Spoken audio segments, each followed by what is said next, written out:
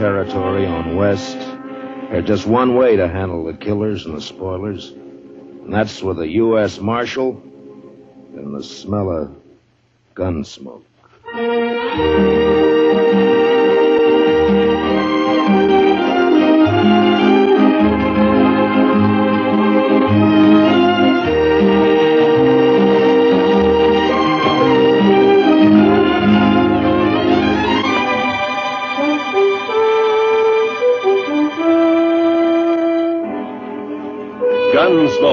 The story of the violence that moved west with young America. The story of a man who moved with it. Matt Dillon, United States Marshal.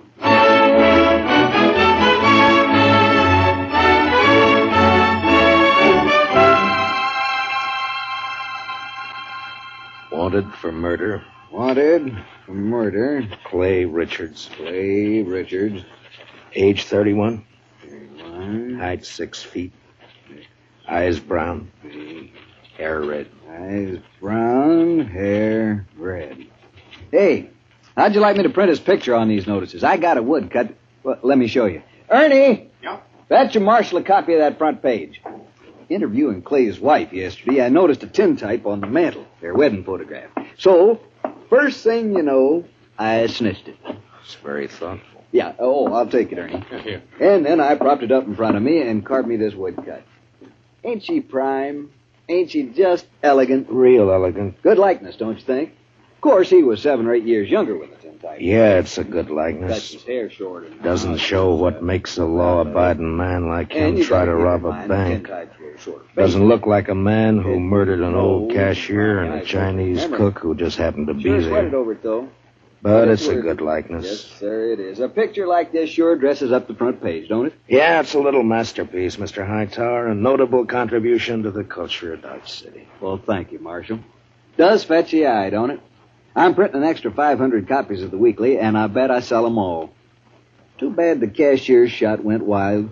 If he'd managed to kill Clay or even wing him, why, I bet I could sell a thousand extra copies. We must be thankful for the blessings we do receive, Mr. Hightower. Oh, I am, Marshal, I am. Why, just before it happened yesterday afternoon, I didn't know what I was going to fill my columns with, and then, like manna from heaven, two murders and a bank robbery. Attempted bank robbery, Mr. Hightower. He turned and ran before he got his hands on so much as a dollar. Yes. Still, as you say, like manna. Dillon, I, I I'm talking business.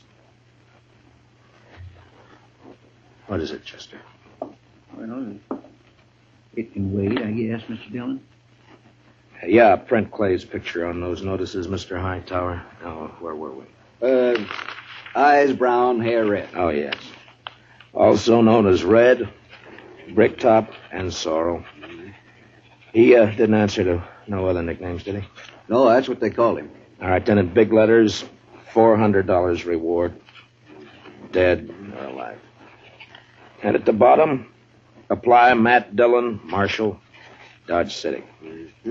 Uh, print 200 copies. How soon can I send Chester over for him? Uh, this afternoon. Good morning, Mr. Hightower. Chester.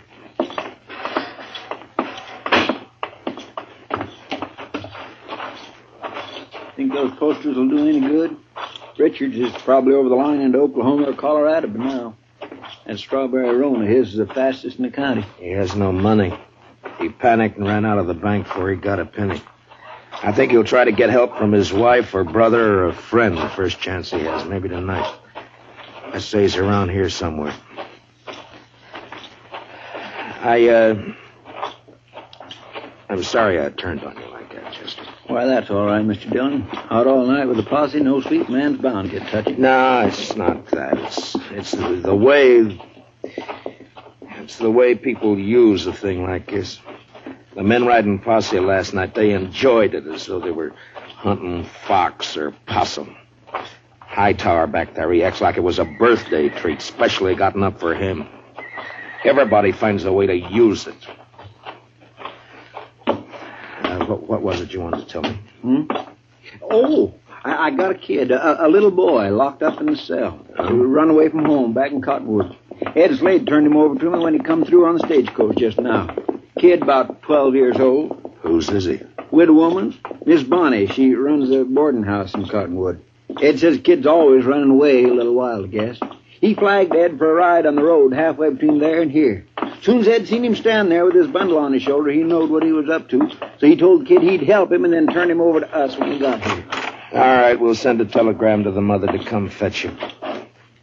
Well, come on in, Chester, and shut the door. Mr. Dillon? You're letting in every horse fly in Kansas. Mr. Kansas. Dillon, I think you better cancel the order for them notices. What? The Dutchman's coming up the street, and he's leading a strawberry roan, and Clay Richards is draped across his back. Like a sack of wheat across the saddle. Last time I saw him, two days ago, he was standing at the bar laughing his head off. A sack of wheat across the saddle. And followed by half the saloon bums and loafers in town. All right, Chester, make him keep back. All right, now stand back, you fellas. Come on now, back. Stand back. Ziegler? How'd it happen, Ziegler? My goat, my old billy goat, he pushes open the fence last night and runs away. Forget your goat. What about Clay? Yeah, I, I tell you. This morning I go to look for the goat. I walk here, there. Near the river, I see Clay. He sits there. I say, hello, Clay. Wie geht's? You dirty Dutchman! You no good dog! Clay was your best friend. He helped you buy your farm, so you killed him for your All right, all of you. Keep back, everybody. Clay? Me? No, no, my brother, he was like, we was in the war together. Peter, listen. You killed him for the war. Not so! I killed nobody. Not, not since Gettysburg. Clay is dead already when I find him. I don't even own a pistol.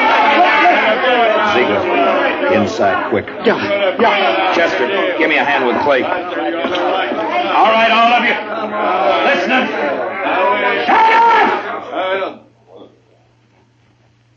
I will not tolerate a disturbance. You know me. I got him, Chester. Take his leg.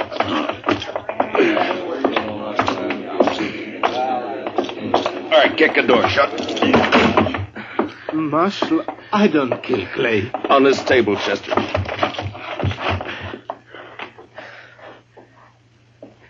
What'd you do with Clay's gun? His holster's empty. Gun? Clay's?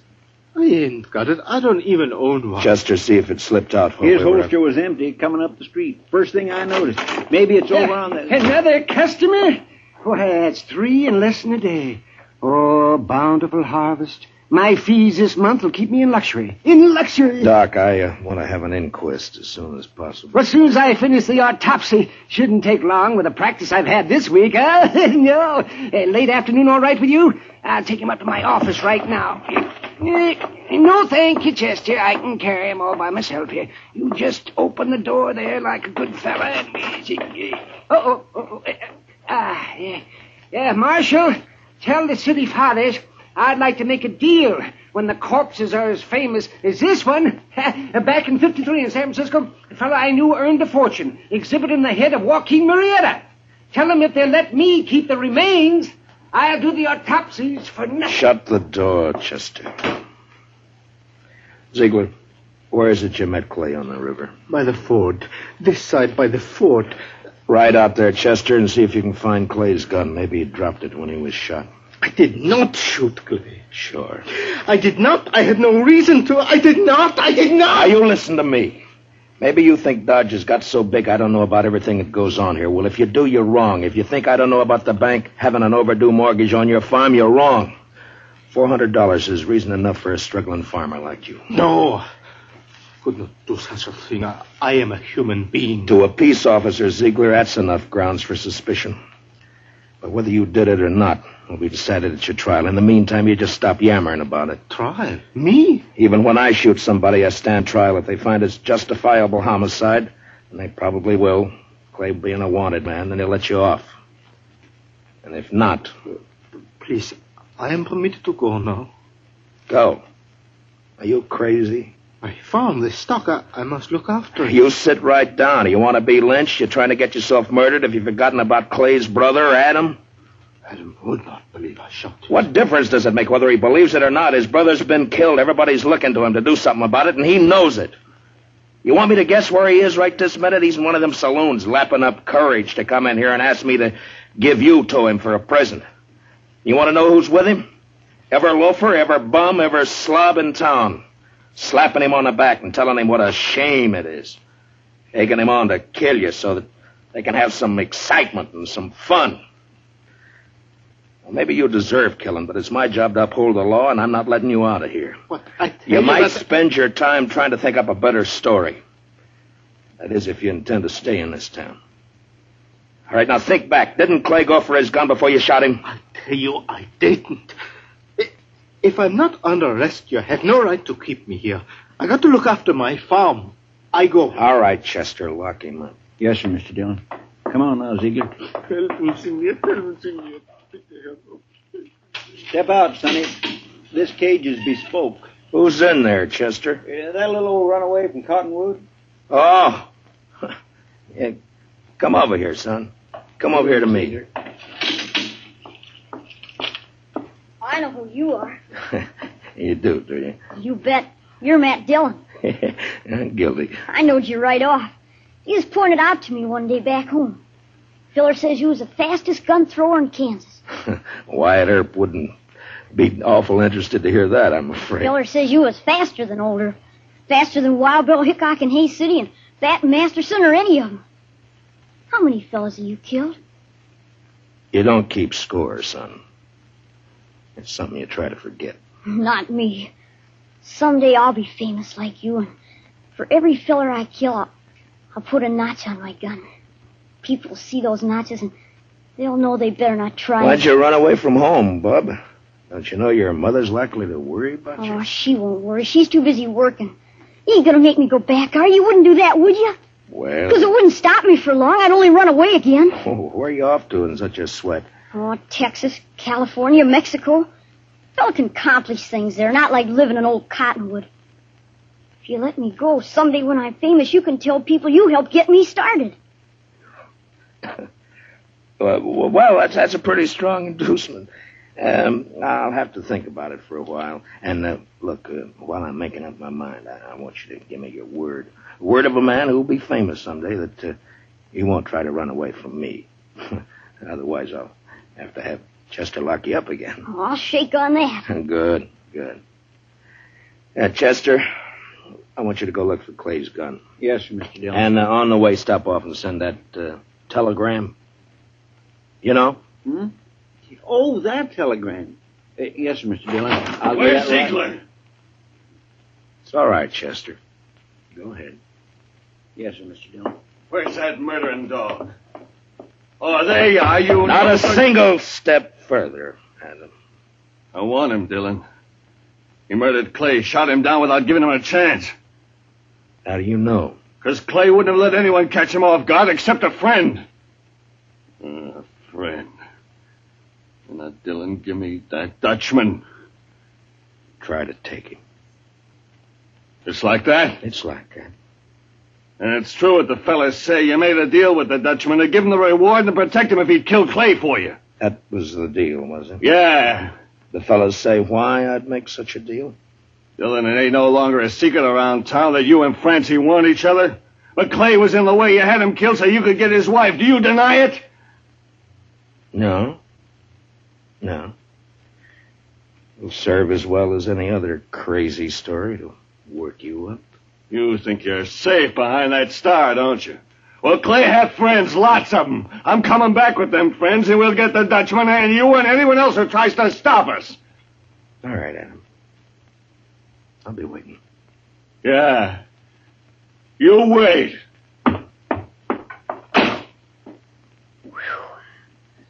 Almost seen something pretty just then, didn't I, Mr. Dillon? Yeah, almost.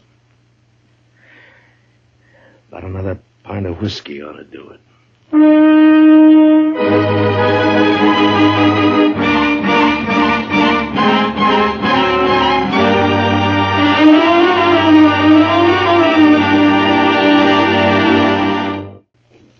Here's the second act of Gunsmoke.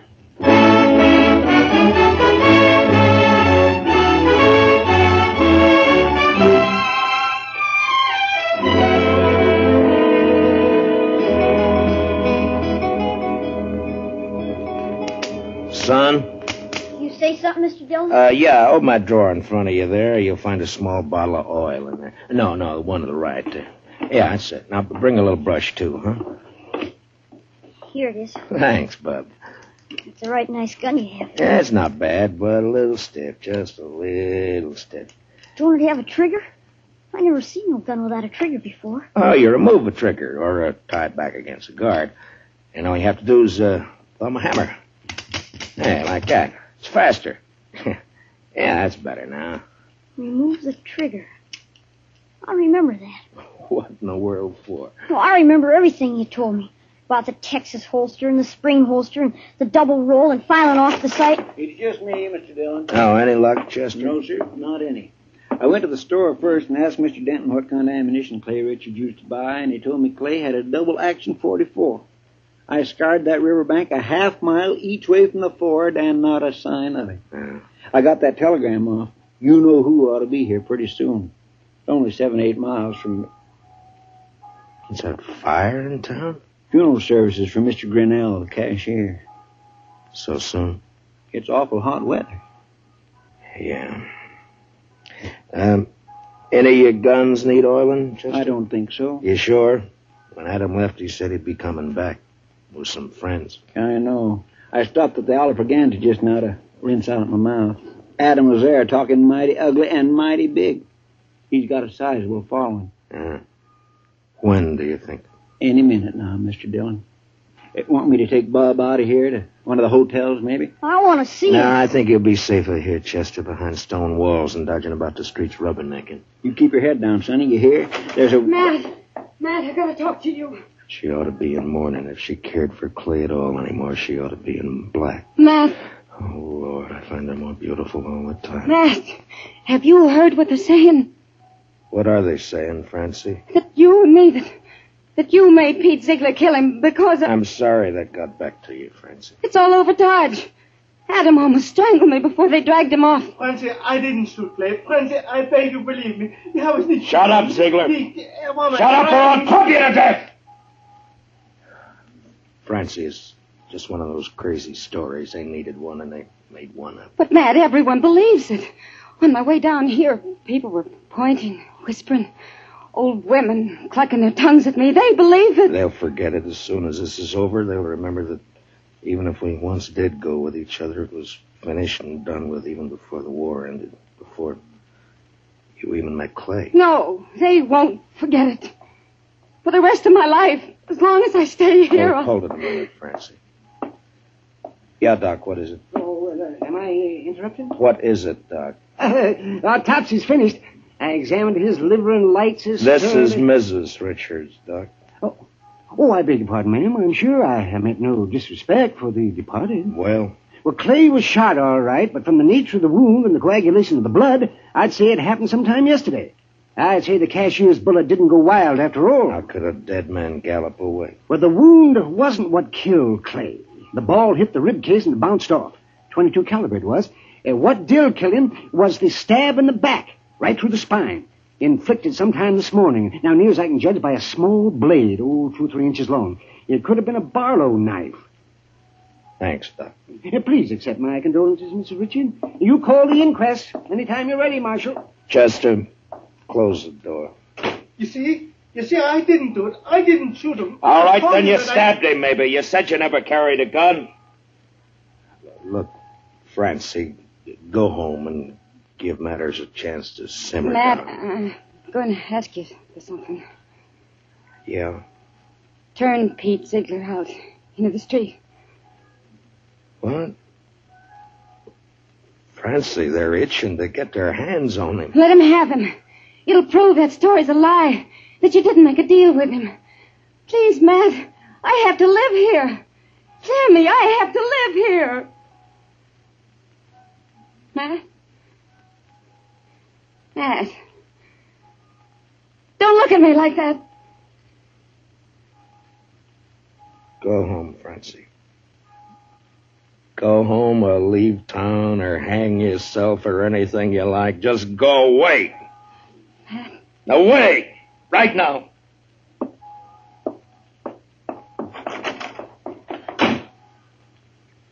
I I bought me a bottle at the Alafragans, Mr. Dillon. Would you care for a drink? No. Hmm. Guess the funeral's over. There'll be others. Funny. No, I miss that bell. Awful quiet, ain't it? It's just one. Just about on schedule.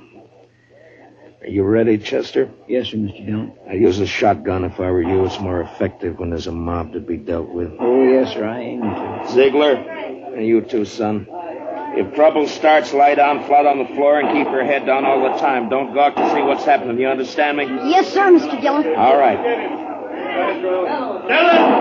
Dillon! Come on, Dillon! Come on! Chester, I want you to stand here in the doorway after I go out, where you can cover the back door and me at the same time. Yes, sir, Mr. Dillon. All right, Chester. Open the door. come on now. It's my duty to warn all of you that you're in the breach of the peace. Ah. I've sworn to uphold the law.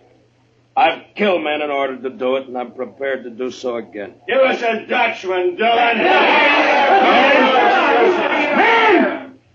I ask you to be sensible and to leave quietly. But if you refuse to listen to reason, if you insist upon being fools, if you've already decided to act like wolves instead of humans, then there's nothing I can say to make you change your minds. A Dutchman, a Dutchman. All right, you want Peter Ziegler? Well, he's not more than 20 feet behind me, so come on and get him, any of you. One at a time or all at once. Come on. Which one of you wants to die first? You? You? You, Adam? Well, what do you say, Adam? You let him here. Don't let this star on my coat stop you. Come on. There, I'm not wearing it now. Well, come on, draw, Adam, draw.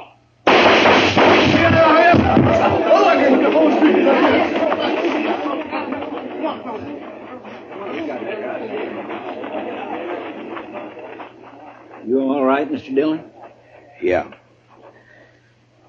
Get his gun. Man alive, I couldn't even see your hand move. Uh, uh, Marshal! Oh, don't tell me. Don't tell Doc, me. you make one single funny remark and I'll knock you down. You just take him to your office and get to work.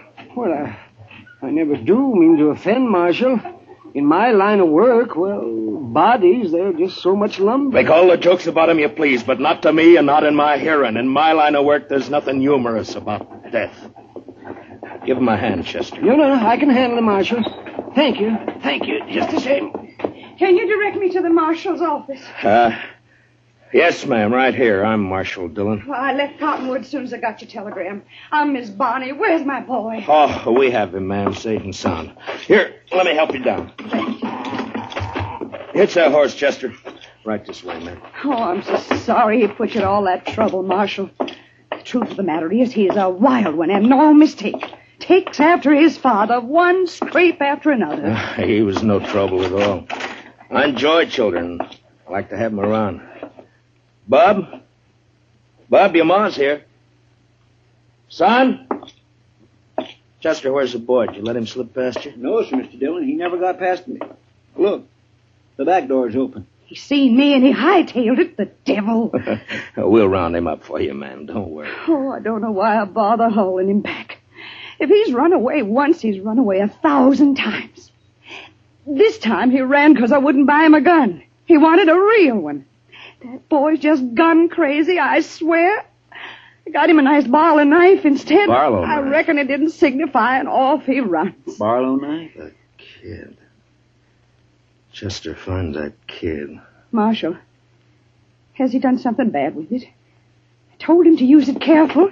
He promised he'd use it careful. No, no, never mind, Chester. He's got Clay's strawberry roan. We'd never catch up to him. Oh, I try to bring him up right. I tell him to be good, but he don't listen. He just don't listen. Now, calm yourself, ma'am. Just calm yourself. Here's his little bundle, Mr. Dillon. What? Yeah, give it to me. That's pretty heavy. Here, you're better at knots than I am. Open it, will you? From the moment he was born, he's been nothing but tribulation to me. Now, please, ma'am. What's he got in it, Chester? A shirt, stockings, piece of sausage, and this. 44 double action. Yes, sir, Mr. Dillon. That's Clay's gun. Sonny didn't manage to keep it long, did he? Well, if he wants a gun that bad, he's bound to get hold of another one somewhere, somehow. Chester, call Mr. Hightower over. Hey! Hey, Mr. Hightower! Come on over. Mr. Dillon wants you. Marshal, could I have please a drink of water? What? Oh, Ziegler, uh, I forgot all about you. Uh, uh, Chester, where are the keys? Yeah, right there on the desk. Oh.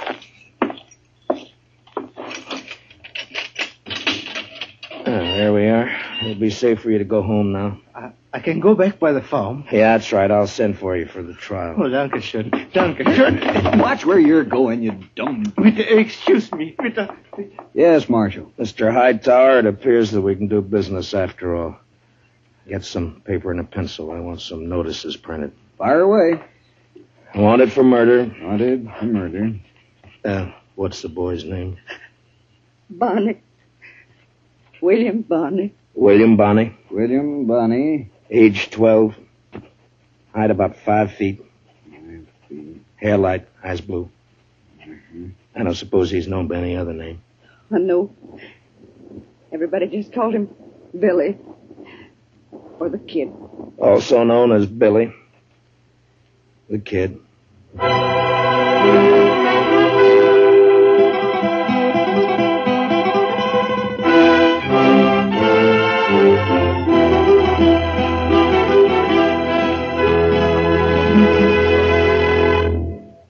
Gunsmoke, under the direction of Norman Macdonnell, stars William Conrad as Matt Dillon, U.S. Marshal. Tonight's story was specially written for Gunsmoke by Walter Newman, with music composed and conducted by Rex Koury.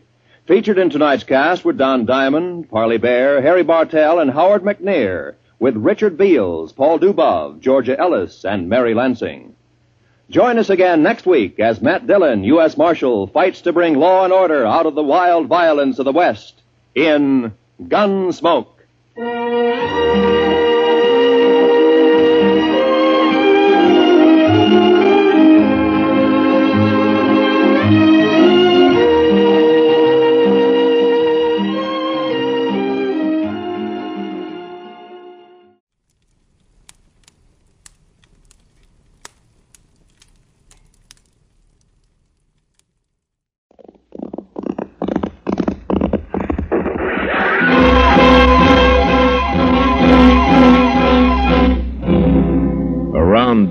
City and in the territory on West, there's just one way to handle the killers and the spoilers, and that's with a U.S. Marshal and the smell of gun smoke.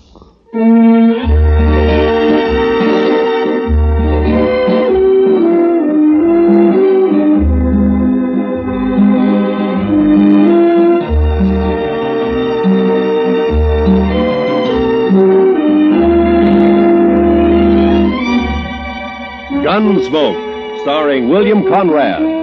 The story of the violence that moved west with young America. The story of a man who moved with it. Matt Dillon, United States Marshal.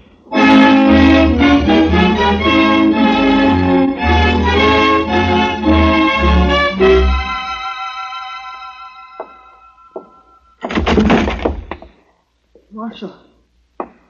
Marshal Dillon. Over here, son. What's the trouble? Marshal. Why, uh, that's Will Thompson's youngin', Mr. Dillon. What is it, kid? What's wrong? Dad. Mom. They burned our house. Got the fences. Four of them. My sister. Sister, they. They, they rode in and shot. He's been shot. Hold that lamp down here, Chester. Yes, sir, Mr. Dillon. There. Blood all over the back of his shirt. Will Thompson, he's a homesteader, isn't he? That's right. Came to Dodge City about three months ago. Took up a section over on Mulberry Creek. Mr. Dillon, you want me to go get the doctor? No. Boy doesn't need a doctor now.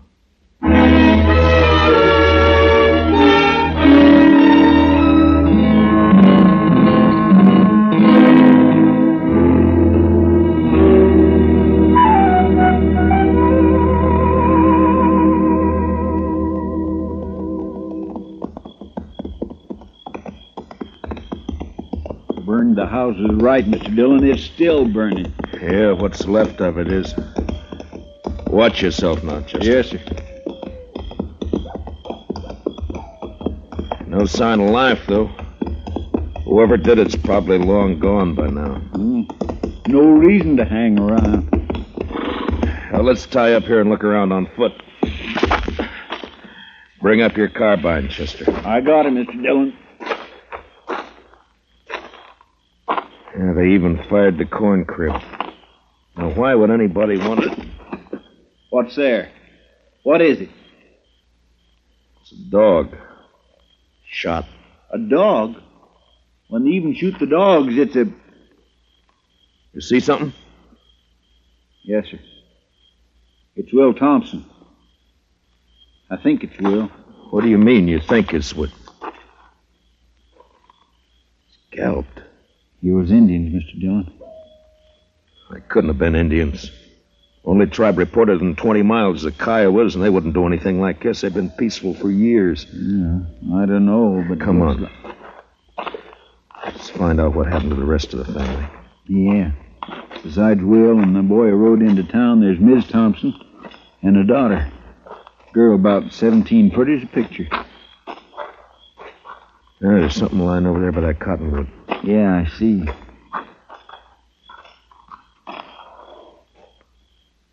Well, I guess we found Will's wife. Mm-mm. She's alive. Yeah, if you can call it that. Scout around and take a look for the daughter, Chester. Yes, Mr. Dillon. Uh, uh, It's all right, Miss Thompson. It's all right. It's all right. Mary. My, my daughter. They, took her and dragged her away. Dragged her away. Easy, man. Easy now.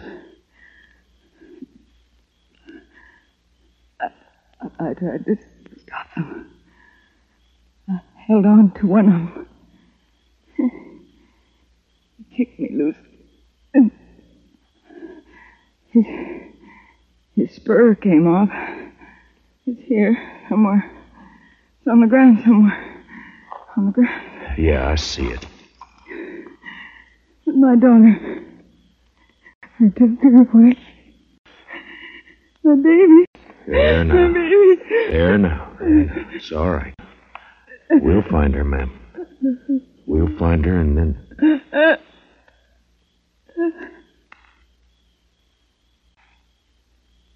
Miss Thompson?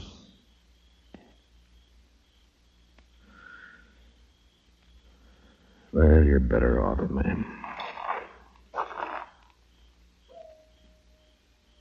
Mr. Dillon, Yeah. over here in the Willis. I found her. All right, Chester.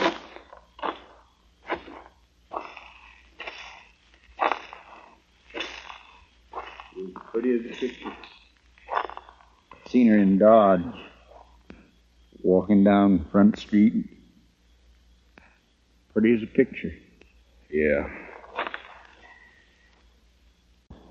All right, let's ride.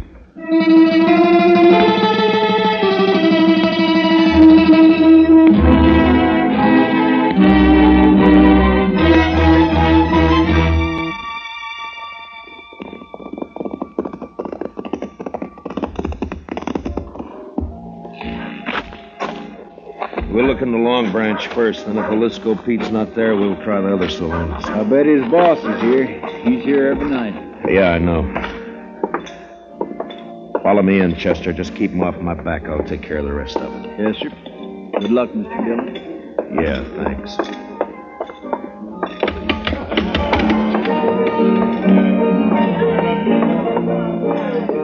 Well, look who's here. Matt Dillon. Hiya, Kitty. What brings you in, sweetie? Business? Or pleasure? It's not pleasure. Ah. Plenty of other men in Dodge, Kitty. Are there? They come in here, don't they? Sure. They come in. I talk to them and I drink with them. That's my job. You follow me, Matt? I follow you. I'm off at two every night. Kitty, have you seen Jalisco tonight? No, he hasn't been in, Matt. Ben Rourke's sitting over there at a draw table, though. Good, I'll talk to him. I'll see you, Kitty. Sure, Matt. Sure you will. I think I got a pretty good hand here myself. Well, come here to draw. Hmm. All right, boys, here's where money talks. I'm raising another hundred and I'll stand pat. Ben, Huh? Well, it's the marshal himself. I'd like to talk to you, Ben. All right, Matt, talk. Not here. We'll go over there by the bar. I'm sorry, I'm busy. I got a pat hand and a cinch bet. Maybe. This is official, Ben. Meaning? Minute, I want to talk to you. Now, come on. Take over my hand, Donnelly. I'll be right back. All right, Matt, let's have it. What do you want to talk about? One of your cowboys, Ben, Jalisco Pete. What about him? Know where he is? Around somewhere, I guess. Why? I'd like to know if he lost his spur recently. Tonight, in fact. It's pretty, ain't it? Mexican silver, needlepoint rowel, gold inlay. Pete's the only man I know in Dodge who's got a pair like this. All right, I'll see that Pete gets it. He'll appreciate your finding it. I doubt that. I found it lying beside a woman he'd just kicked to death. Will Thompson and his whole family were wiped out a few hours ago by four night riders. You know anything about it? How would I know about it? Your boys call you King, Rourke, don't they? Never heard of one of them pulling anything without being sure you'd back him up. Matt, are you claiming I was in on this? You're a cattle rancher, Ben, an open range man. You boys all hate the homesteaders coming in with their plows and fences. Been a lot of fences cut by night riders. Now it's murder. You haven't named me yet, Matt. A couple of months ago, here in the Long Branch, I heard you say you'd get the homesteaders out of Ford County if you had to burn them out. Well, did you? Sometimes a man gets known as a fast gunslinger and it goes to his head. I asked you a question, Ben. Then he gets himself a tin star and goes around bothering people.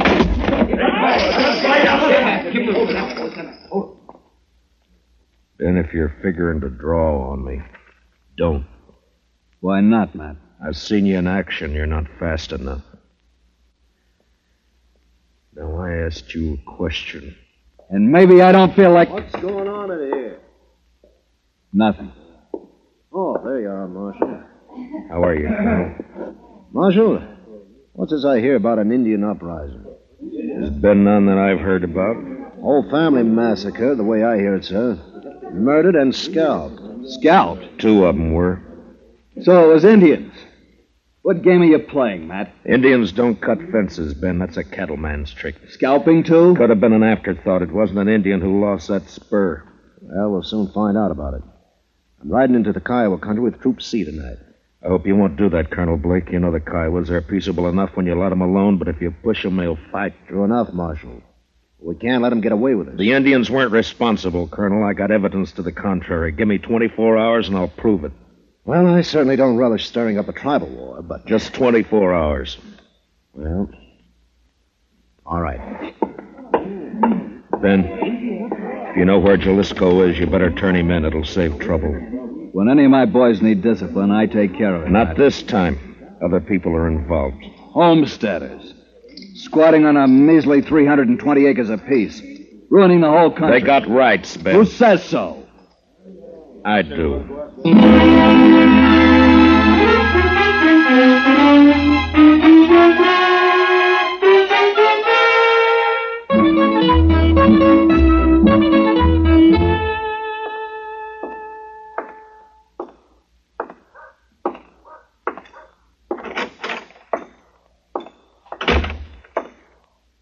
Morning, Marshal. Good morning. Any luck, Chester? No, sir. I just stopped by the jail here to see if you'd found it. I wish I had. I'll head out again in a few minutes. Oh, this fellow's been waiting for you all morning, Mr. Dillon. Is that so? My name's Ezra Hawkins, Marshal. We ain't met before. I got a homestead up the river. It Don't leave me much time to get to town. I see. Well, what can I do for you, Mr. Hawkins?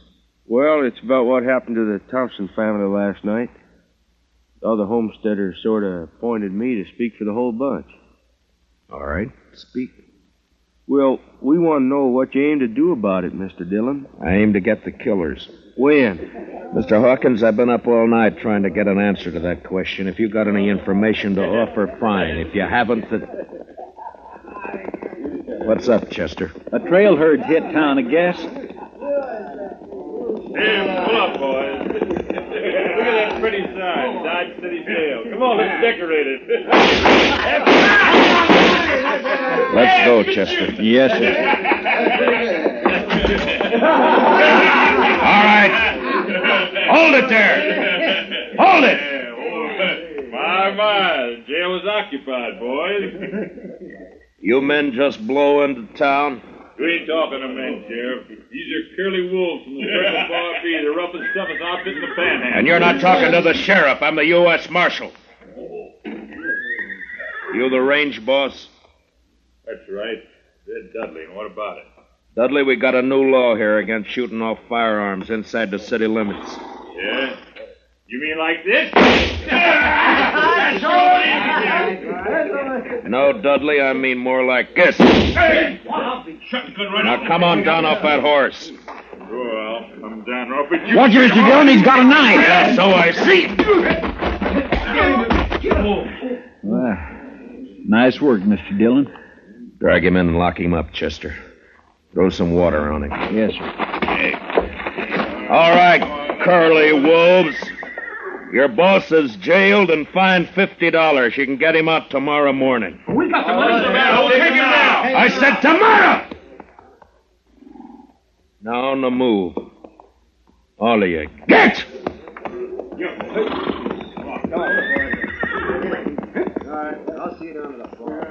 You handle things right fine, Marshal, once you get started. Thanks, Hawkins. Only trouble is some of us homesteaders are getting kind of impatient. The cattle ranch has been treating us pretty bad for too long. The boys are all meeting at my place today. I reckon I can hold them back till tonight. You know what I mean, Marshal. Yeah. I saw it happen in Abilene, dirty and bloody. I'd hate to see it happen here.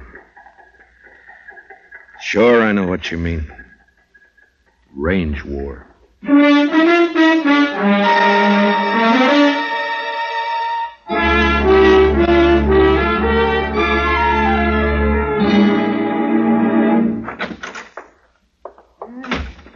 Well, Marshal, we can hold an inquest any time now. I'm all finished with the autopsy. All right, Doc. It goes pretty fast when you can line 'em that way, four in a row. Makes the job a lot easier. Yeah, I imagine. Doc, have you ever seen a range war? No, but I hear there's one brewing. There is, plus Indian trouble. If I don't bring in Jalisco Pete before tonight and find out who his three partners were, you're going to have bodies lined up 20 in a row. Well, it sure bring in a lot of fees. I could retire and buy myself a ranch. Sure, Doc. Oh boy. Oh, that sounds like Chester, Marshal. Yeah, he's been scouting those thickets along the river bottom. Mr. Dillon, I brought in Jalisco. Where is he, Chester? Outside, tied on a pack mule. Good. No, sir. I'm afraid it ain't so good. He's dead. Been shot in the back and scalped.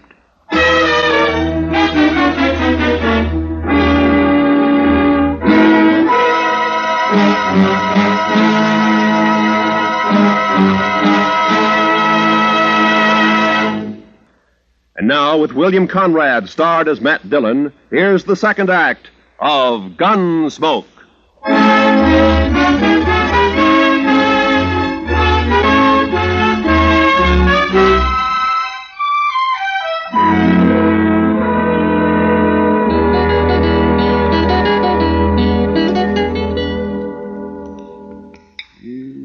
Just a second now, Marshal. Let's see. Here, here, here it comes now. Ah, ah. ah, there's the bullet. If it'll do you any good. It won't, Doc. Uh, the slugs I dig out of the bodies all look alike. Someday, though, they may figure a way to tell them apart. Maybe even tell which gun fired which bullet. Oh, no, not a chance of it, Marshal. Well, I guess that's all I can do for the late lamented. Oh, I see he's only wearing one spur. Yeah, I know. I got the mate to it here. That's what I wanted to talk to him about. That's too bad, Marshal. His talking days are over. Yeah, somebody made sure of that, all right. Then tried to cover the trail by scalping him. Well, I can tell you one thing. It wasn't done by Indians. That's my guess, too. I've seen how Indians do it. Down in the territory, up in the Dakotas, slick and clean. Nothing like this. Why, I could do a better job with my eyes closed. I bet you could. Well, I guess I'd better get ready for the rush. Looks like a showdown, Marshal. And I don't see any way that you can stop it. Neither do I.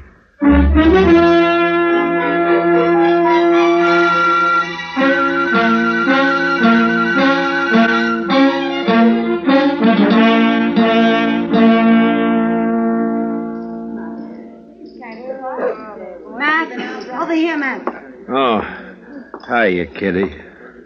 Business again, Matt? Well, I was looking for Ben Rourke. He isn't here. He left about an hour ago. Some of his boys came after him. Matt, I. I waited for you last night. I worked, Kitty. All night? Yeah. There's a bad feeling in the air, Matt. What is it? What's going to happen? I wish I knew. They called all the soldiers from C Troop back to Fort Dodge this afternoon. I hear they're planning to move out tonight. I hope not. Been a lot of homesteaders in here drinking today. That's unusual for them. What's going to happen, Matt?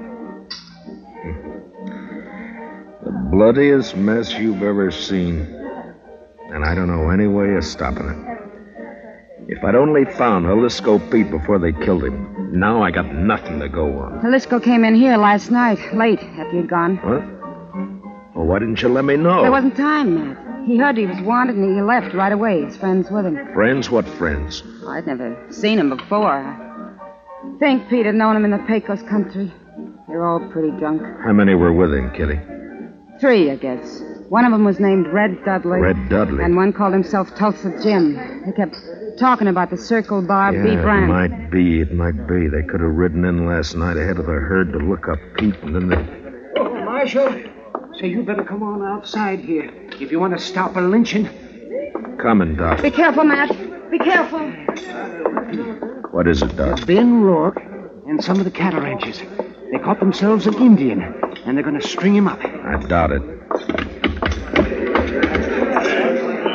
Let us stay clear of this, Matt. We know what we're doing. I hope so, Ben. Who have you got here? One of the murdering skunks who wiped out the Thompsons. Any objections? I might work up some, Ben. What's your name, fella? He won't talk to you. Hasn't opened his mouth. Look, fella, as an Indian, you're a ward of the government. I'm a U.S. Marshal. I represent the government. I'm here to protect you. Now, what's your name? Keith Doxwa. Work hard. Good man, no kill. What makes them think you did? Say kill people, no kill. He pleads not guilty, Ben. Sure he does. And maybe he can explain why we caught him two miles from my ranch house. Is that reservation? What was he doing there? Go on, ask him. Mr. Rourke? Maybe I can tell you what he was doing. What? Ezra Hawkins. One side, if you don't mind. Let me through here, please. Let him stand. Thank you. We got tired of waiting, Marshal. We come on into town. Maybe that was a mistake, Hawkins. Maybe. You have to play it the way you see it. Look, mister, let's have it. What's this all about? I'm a homesteader, Mr. Rourke. Well, I accept your apology. Tweren't no apology. I just wanted you to know who those hundred men across the street were. They all got guns. A hundred, huh? Well, there's 30 of us, so the odds aren't bad. What's on your mind? This Indian's been working for us, Mr. Rourke. Tracking down fence cutters. Maybe that's why you caught him within two miles of your house. Got the nerve to come out and say what you mean, homesteader? You bet I have, fence cutter. All right, hold it. Now you're covered, Ben, and you too, Hawkins. This play's gone far enough. Not giving a man a chance to draw, Matt? Not this time, Ben. All right, Katoxa, uh, climb off that horse and get over here behind me. Move slow and stay out of the line of fire. You men, if either side makes a move, Ben and Hawkins will be the first to get it. You understand? Doc, take us in into your office. Oh, sure, sure, right away, man. Well, Matt, what's the next step? You can't keep us here with our hands in the air forever. I don't intend to. I got one of the murderers locked up in jail. I want you two to come along and listen to his statement, but leave the questions to me, all right? It's just fine with me, Marshal. It's your show, Matt. Good. Come on.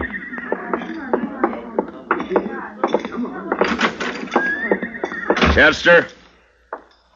Chester? Looks kind of deserted, Matt. He may have gone back to the cells to see. Chester? Move on, Big Joe. Ben Hawkins. What's the matter, Matt? Here, I'll get that gag off of him. You cut the ropes, Ben. Right. All right, Chester, here we go. Easy now. There. What happened, Chester? Oh, they slipped in and got the drop on me, Mr. Dillon. Took Red Dudley with them. There was two of them, not more than 20 minutes ago. Who were they? Did you know them? Nope. Circle Bar B-boys, I think. They slugged me and thought I was out, but I heard them talking. They were all in with Pete on the Thompson killing. Yeah, I know. And they killed Pete, too. They was afraid you'd make him talk. The question now is, where are they? I know where. They are Kansas rooms. They are Kansas, huh? They planned to hole up there till it got dark. Maybe they've gone by now, though. Maybe not. Want some help, Matt? No, thanks, Ben. It's my job, mine and Chester's. Come on, Chester, let's go.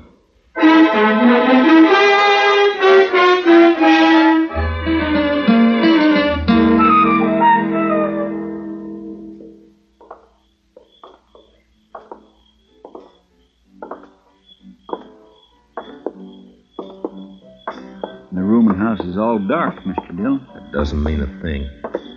Watch the windows. That's you, and Dillon? Drop behind that water trough here. Use your carbine, it's more accurate. Yes, sir. All right, Dudley. Come on out. You're under arrest. Come and get it! Fire at the flashes, Chester. That came from the side window, Mr. Dillon. And ten to one, there's somebody behind the other corner. So. Yeah, there was. Rake the front of the building, Chester. Yes. I got one. He's hanging out the window. Yeah, it's two down and one. Dillon! Hold your fire! I give up! All right, come on out. Be careful, Mr. Dillon. It may be a trick. It's up to him. Come on out, Dudley. Well, hurry it up! I'm coming. I got a, I got a bullet in my leg. I can't hurry very fast. You, you got me all wrong. Watch it, he's drawing. Wrong, Chester. He started to. See if you can find the doc and get him to help you pack these things over to the jail. Yes, sir. Right away, Mr. Dillon. Matt? Are you all right, Matt? Yeah. Yeah, I'm all right, Ben. Had a clean sweep, huh? Looks that way. Well, bullets are cheaper than rope. I guess so. Ben, you and your boys aren't murderers like Red Dudley, but this business of fence cutting can lead to a range war, too. Like it or not, homesteading's here to stay. There's more of 'em coming in on every train. I know all that. Those cattlemen built this country, Matt. A few more years now, they'll have us fenced out of it. Times change, Ben. There's range still left out west, New Mexico, Arizona. Yes, I know. Some of us have been thinking about it. Matt, they'll fence you out, too, you know. Yeah, I guess they will. Hmm. well, when that time comes, I'll move on. If I'm still around. Farms and families. Next thing they'll do is set up courts and bring the law in here. Law's here now, Ben. In Dodge City, I'm the law.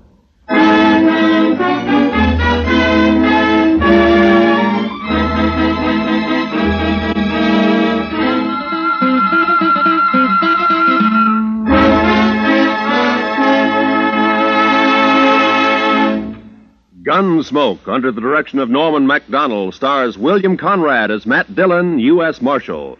Tonight's story was especially written for Gunsmoke by Les Crutchfield with music composed and conducted by Rex Koury. Featured in tonight's cast were Harry Bartell, Lou Krugman, and Georgia Ellis, with Jack Kruschen, Barney Phillips, Vivi Janiss, and Johnny McGovern. Parley Baer is Chester, and Howard McNear is Doc. Join us again next week as Matt Dillon, U.S. Marshal, fights to bring law and order out of the wild violence of the West in Gunsmoke.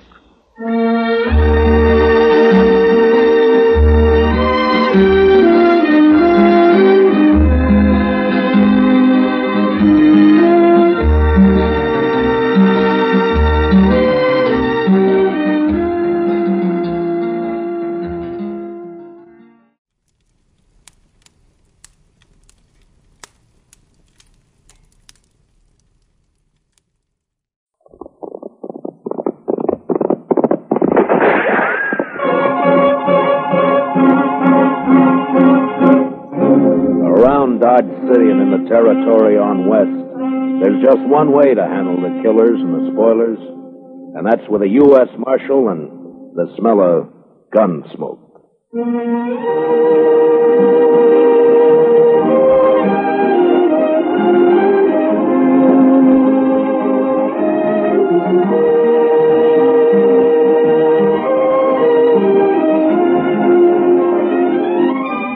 Gunsmoke, starring William Conrad. The story of the violence that moved west with young America.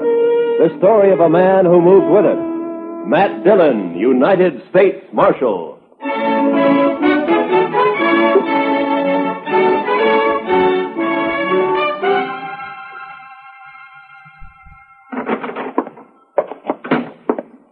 Well, Chester? It's another one, Mr. Dillon.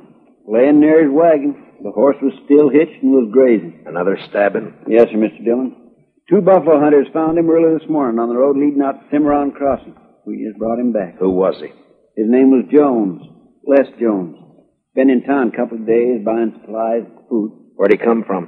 Well, some of the boys told me he's got a little farm on up the Arkansas piece. Got a wife, too. Poor little thing, they tell me. Yeah. You know anything more about him? He was at Tab Slade's saloon last night playing faro. Drunk? Oh, we'd had a belt or two, but not drunk. Did all right at the faro table. But he must have had two, three thousand dollars. Three thousand dollars and a widow woman on the Arkansas River. Beg pardon, Mr. Dillon? Yeah, nothing, Chester. The money's gone, of course. Yes, sir. Ask Doc to come down when he can, will you, Chester? Right.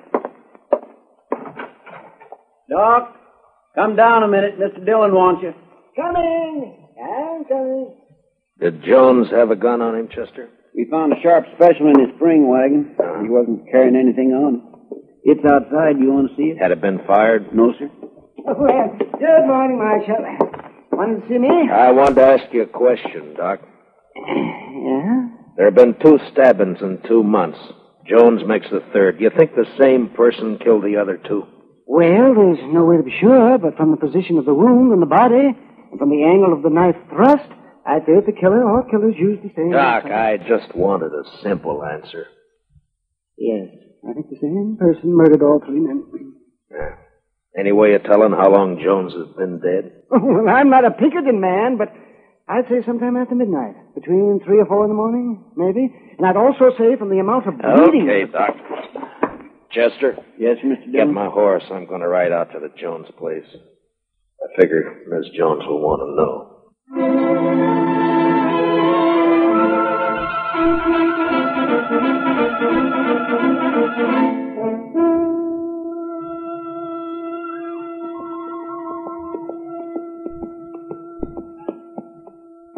Oh, Howdy, Bub. I live here. Where are you from? I'm from Dodge. Dodge. You ride all the way from Dodge? Sure. Get down and I'll water your horse. All right. Yeah, here you are. What's your name, son? Alvin Jones. My dad is Les Jones. I, I guess you know him, huh? Yeah, sure. I guess most everybody knows him. Uh, your mother in the house? Are you going to stay for dinner? Well, I don't think so. Is she in the house? Yeah, she's there. Just go on up. Don't worry about your horse. Thank you.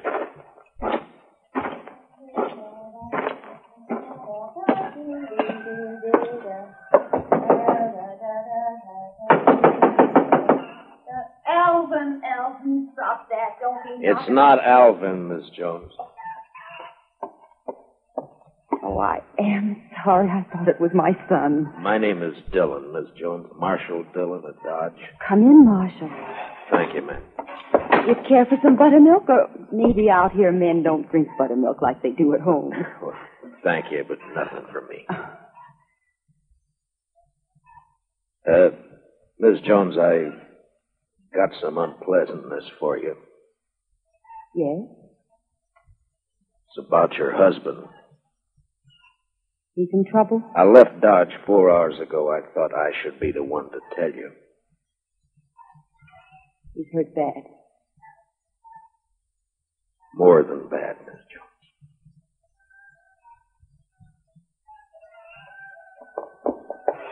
I pulled the saddle off your horse, mister.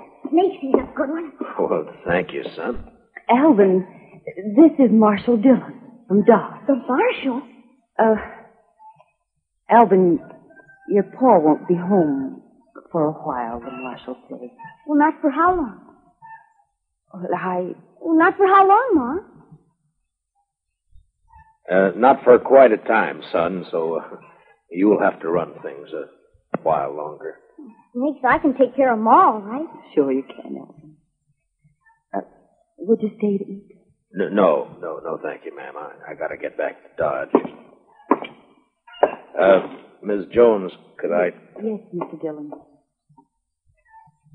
talk to the boy, Miss Jones? Explain it so he won't be bitter.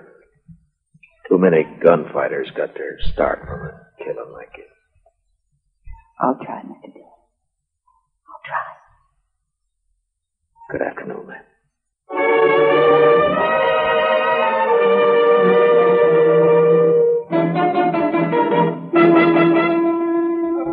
And uh, make sure you got enough whiskey to finish the night this Thursday weather. Oh, we've got plenty, Mr. Slade. If no fight starts that. Oh, Mr. Slade. There's company coming. Marshal Dillon just walked in. Oh, uh, set that bottle of rye up on the bar. Yes, sir. Howdy, Matt. Join me in a drink? Thank you, I will. What kind of drive? Been traveling? Yeah, I've been up the river a bit to the Jones place. Jones? Tell his wife she's a widow. Oh, yeah, I heard about that. It's too bad. He was in here last night, wasn't he? Oh, yes. Matter of fact, he was. You wouldn't know anything about his being killed, would you? What are you asking me, Dillon? Straight question. You saying I killed him? Just asked a question, Slade. I don't know anything. Someone knifed that man after he left here. He was taking a lot of money out of your place. You had a reason. I wasn't even here last night. My partner, Ben Ramirez, was running the place. Where were you? I was with his sister. All evening? Still late enough. Where's Ben and his sister now? I don't know. Home, I guess. I think I'll ride out and have a talk with him. And Slade, Yeah? if you have any big winners tonight, make sure they get home safe. Huh?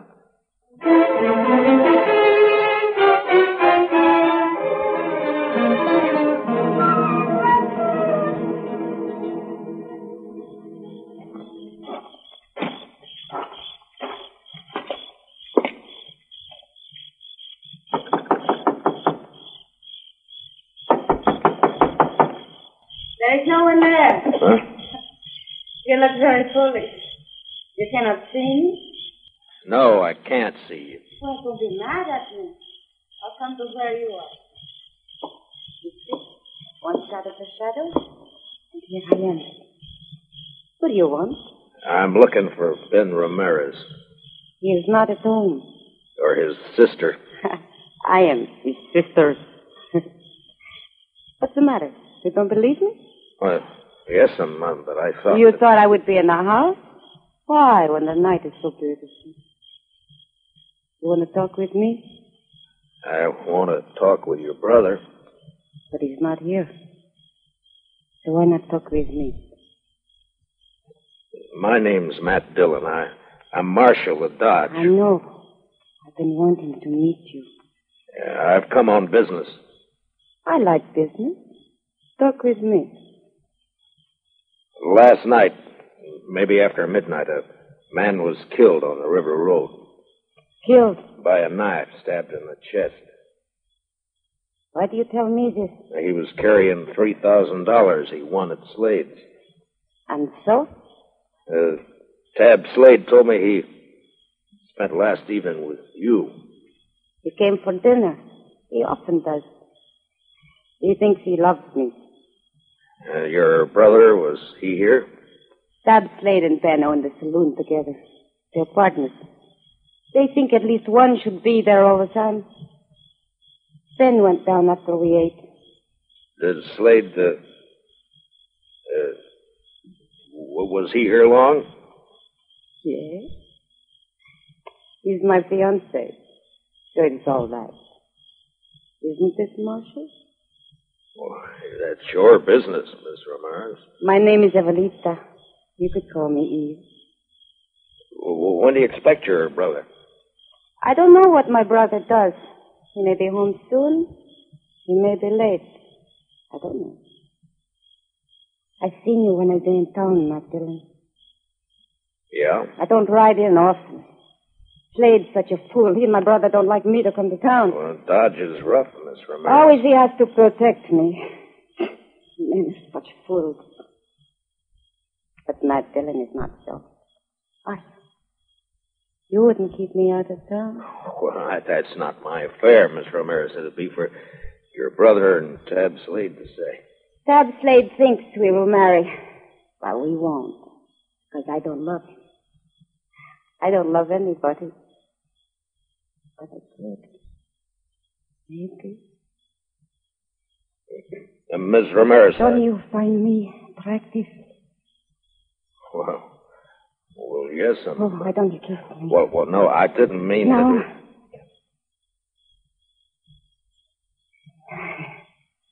Dillon, I've got a gun pointed at the back of your head. Ben, I want to. Fooling with another man's fiancée isn't smart, Dillon. Ben, please. You go inside.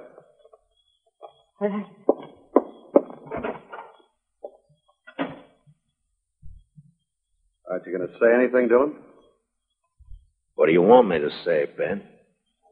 Oh, by this time, most men will be crawling. You're a hard one, Dillon. I can't fight a man who's behind me in the dark with his gun drawn.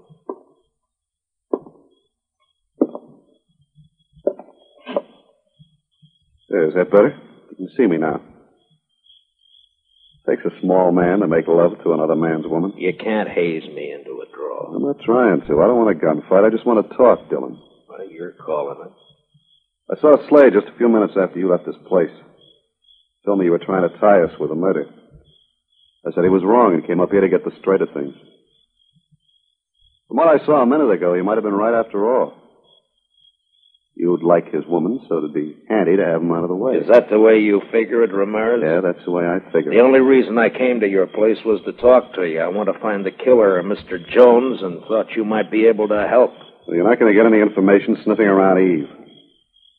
What's your plan, Maria? I'll give you some advice, Marshal. Tab Slade's been a good friend of me, and I'll help him protect anything that's his. Eve's his, so stay away. You're not going to find a killer while you're saying pretty things. Are you through?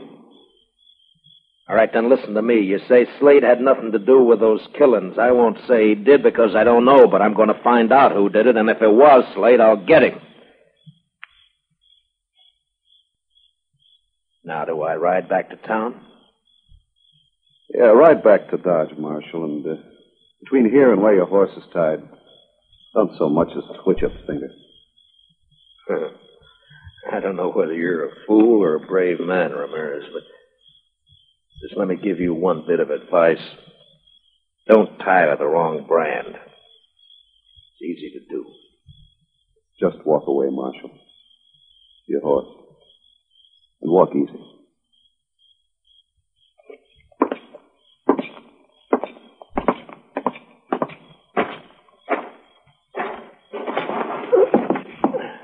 Uh, Marshal, Yeah? if you find out who killed Jones, let me know. I'll do that, Ben. I sure will.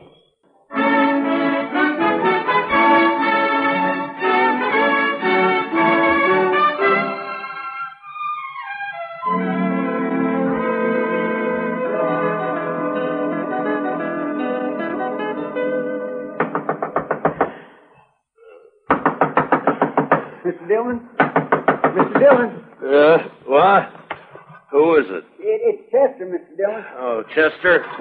Oh, wait a minute. What time is it? Almost four in the morning, Mr. Dillon. Four. Yes, sir. I'm sorry to have to wake you, but you better get dressed and come right away. They've got Tab Slade. Slade? Who's got Slade? Some of the ranchers, they're going to lynch him right in front of his saloon. Well, go and try and hold him for a minute. I'll be right along. Yes, sir.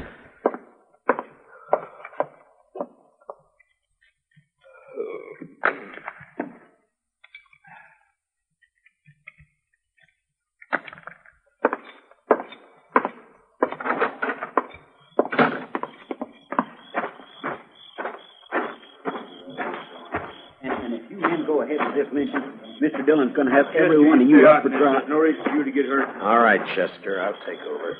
Marshal, we don't want to have trouble with you, but we're going to hang Tab Slade. Uh, Harrison, you're too smart a man to be the head of a mob like this. Now tell your men to break it up and go home.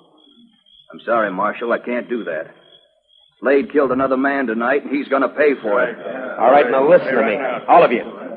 If Tab Slade killed a man tonight, I'm going to. He did. If you can prove Tab Slade killed a man tonight, I'll take him to jail and hold him there for trial. Marshal, Tab ain't going to be alive to stand trial. Do you know Slade killed anybody? If one of these men lays a hand on Tab Slade, I'll start shooting. There'll be a lot of men dead. How about you, Marshal? Might be you could get hurt, too. That's right, John. You could kill me, all right. But which of you is going to shoot first? And die first? Huh? Well, which one? Chester? Yes, sir. Go pull Slade off that horse, cut the ropes, and take a gag out of his mouth. Yes, Mr. Dillon. And you men, don't anybody make a mistake. Don't you move a shadow. All right, just. All right, Slade, get down off there. All right, Chester. Give me a chance. Now you and Slade walk back to the far side of the street, slow. Yes. I tried to tell him I had nothing to do The rest of you just stand where you are, looking right here at me. First man so much as moves his eyes will be in real trouble. We're across the street, Mr. Dillon. Good, Chester. Now walk Slade down to the jail and put him in a cell for safekeeping. Now, Harrison, you and your boys head for home, and if you got any sense at all, forget to tell your families what you were almost a party to. Now, good night, gentlemen.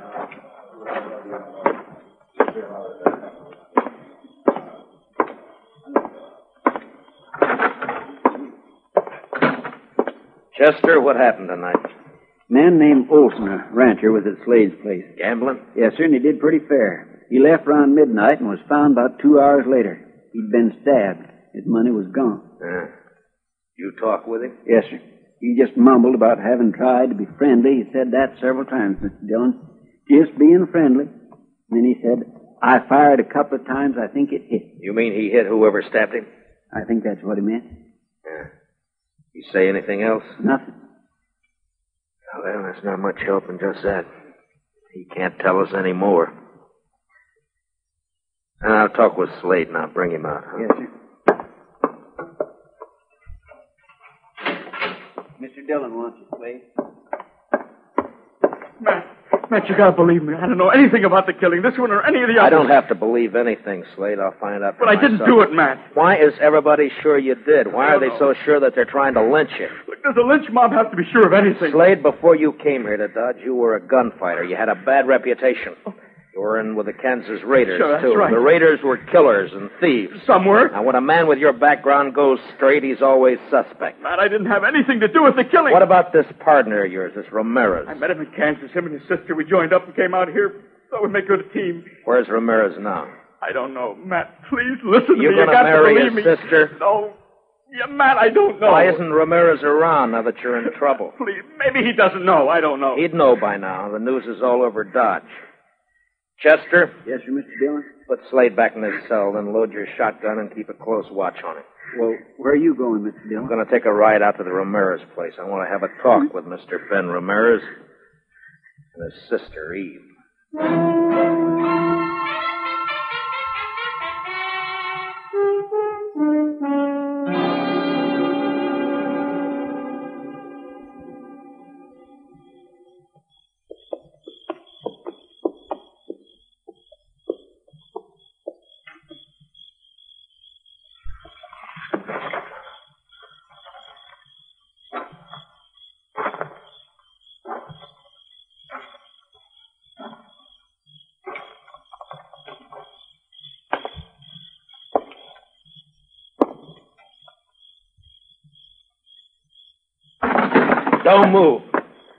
Where you are, Ramirez.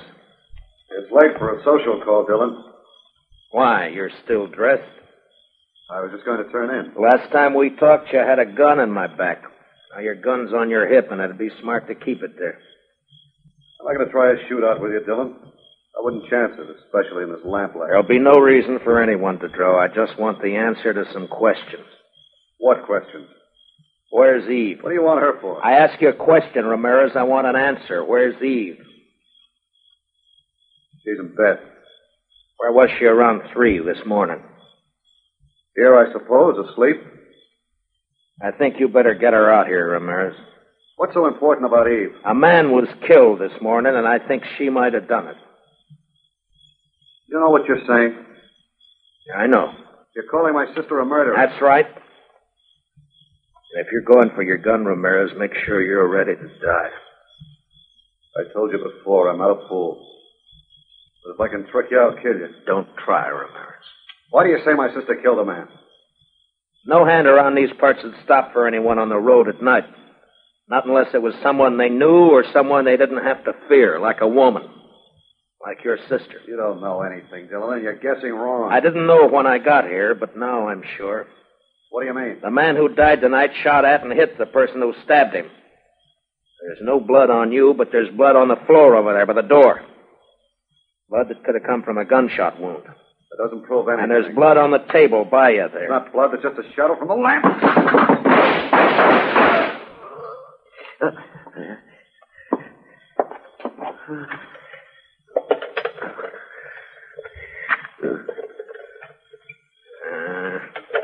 the lamp won't light. Does it hurt, Ramirez? I hurt inside. Bad? I won't be around for the trial. Did she do it, Ramirez? Did your sister kill those men? She's not my sister. She's my wife. Wife? Yeah, that's why she didn't marry Slade. She's in the other room. Hurt bad. Get a doctor for her. Ramirez? She's no good. But I loved her. Uh, she's got a horse.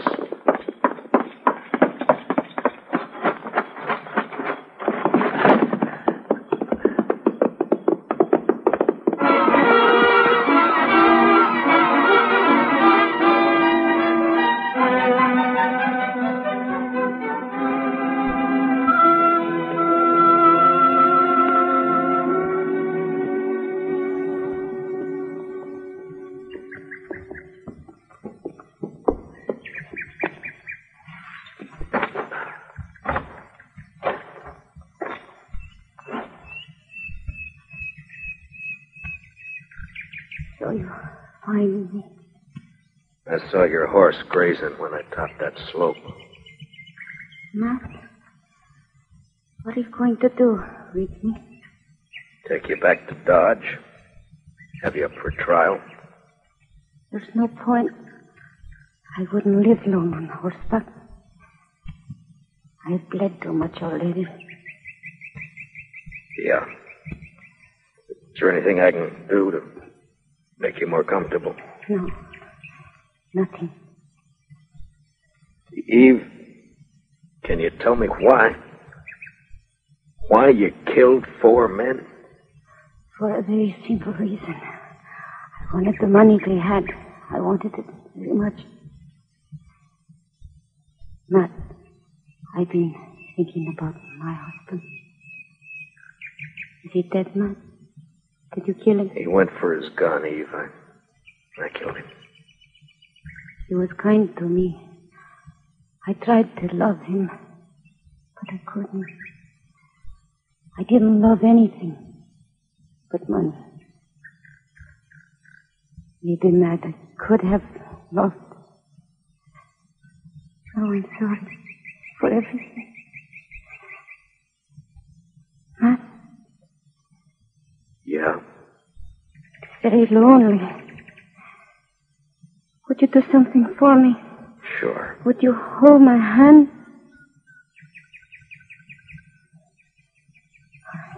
Good. That's good. Very good. I'll just rest here a minute longer. Perhaps I can. I...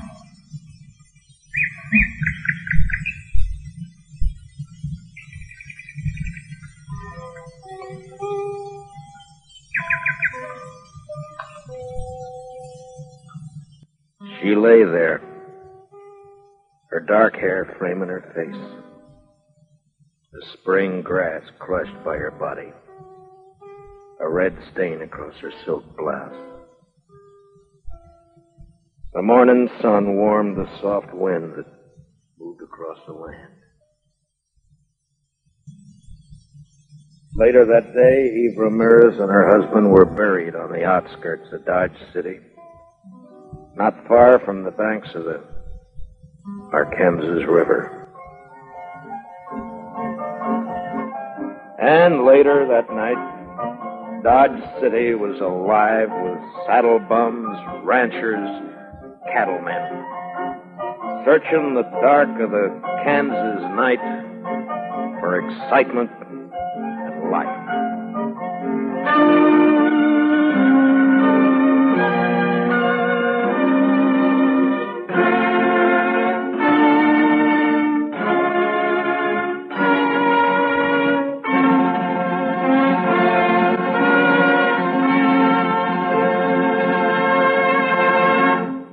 Gunsmoke, under the direction of Norman Macdonnell, stars William Conrad as Matt Dillon, U.S. Marshal. Special music for tonight's story was composed and conducted by Rex Koury. Featured in our cast were Georgia Ellis, Hy Averback, and Jack Kruschen, with Richard Beals, Ann Morrison, and Herb Ellis. Parley Baer is Chester, and Howard McNear is Doc.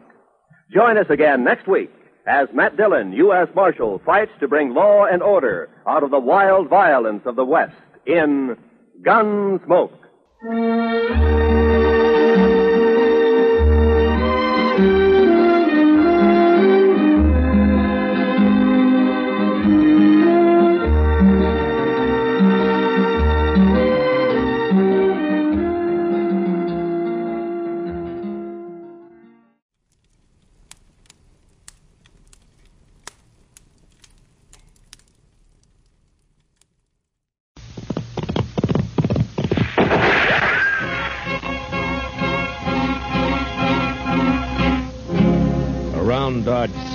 Territory on west, there's just one way to handle the killers and the spoilers, and that's with the U.S. Marshal and the smell of gun smoke.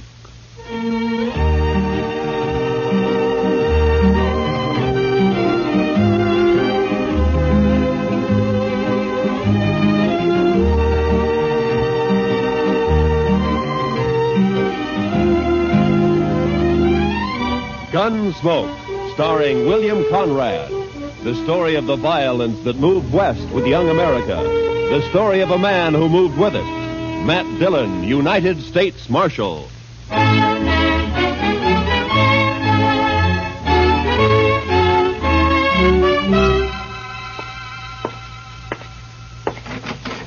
Chester. Chester. Chester, where are you? Back here, Mr. Dillon. Well, come on out. Yes, sir, Mr. Dillon. As soon as I get my boots on. Your boots on. What are you doing? Sleeping? No, sir. Just washing my feet. well, now, I hope you didn't have any plans for tonight. Uh, what did you want me to do, Mr. Dillon? Well, I want you to stay on Front Street for a few hours while I go up and have a toddy with Big Kate. But if you're going to oh, be busy, no, sir. well- I haven't got anything to do. I'd be proud to stay here. Just look at the dust in that street. Uh oh. Mr. Dillon? Huh? Looks like Major Randall from Fort Dodge crossing over here. Ah. Open the door for him, Chester. Major will like that. Come in, Major Randall. Come in, sir. Marshal Dillon. Hello, Major. Marshal, I want to talk to you about last Saturday's affair. Well, Saturday was a pretty lively day around here, Major. Which affair do you mean? You surprised me, Marshal.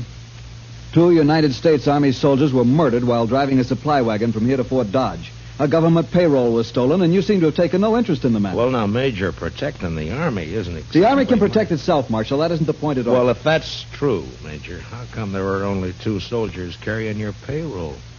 You got plenty of men out there and plenty of guns. Where were they? On maneuvers. On maneuvers? In my command, Marshal, troops remain in garrison as little as possible. Well, then you were asking for trouble, Major, knowing that there was a payroll coming in. The arrival of the payroll was secret. Even the two men carrying it didn't know what it was. Well, the word must have got out somehow. It seems to me, Major, like somebody out at the fort must have told them. There are no traitors in my command, Sheriff. Uh, Major, I'm not a sheriff. You, you see, it's more Never like mind. Marshal, I demand to know what you intend doing about this crime. All right, I'll tell you, Major. Nothing. What? If I knew who did it, I'd make the arrest, but I don't, so there's nothing I can do. I see. Well, Marshal, I regard this crime as a demonstration of your inability to control these Dodge City ruffians, and therefore I shall do it myself. How's that, Major? If no arrests are made in this matter, I'll give these bad men of yours a taste of martial law. We'll see how they like that. I wouldn't try that, Major. These streets will be patrolled 24 Now hours listen to me, Major. You don't know these men. Sure, there are some bad ones here, but most of them are just wild. Free and wild. But you run the army in here, and they'll all fight. Hmm. Let them. You've been stationed at Fort Dodge two months now, haven't you, Major? How long you been out on the frontier? This is my first tour, thank heaven. Well, then I'd advise you to take it easy. You get to know the ways of this land. You may save your advice, Marshal. There'll be trouble, Major, bad trouble. If necessary. Nonetheless, the Army will take over within the week, or before, if there are any more of these crimes committed against it. Good day, gentlemen. My. You think he'll do it, Mr. Dillon? Yeah, he made a mistake, and he's a hot-headed fool, Chester. You try it. Well, can't you stop him? I don't know. Well, I'll be at Big Kate's later on. You can find me there if you need me. All right, Mr. Dillon.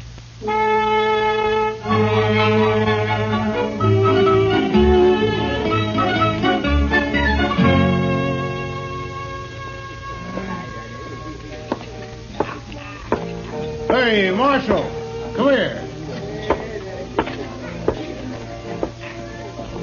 What is it, Shiloh? There's talk of Dodge being run by the Army, Marshal. So? So I don't like it. I and most of the men around here got out back in 65. We've had all the Army we need. Yeah, I know. But maybe things will work out. And if they don't work out, which side you fighting on, Dillon? Where do you stand? I'm hired to keep the peace, Shiloh, not to answer fool questions. You calling me a fool? Well, say it. No, you're drunk, Shiloh. You saying I'm drunk, Marshal? Is that it? All right, Shiloh, I'll show you how drunk you are.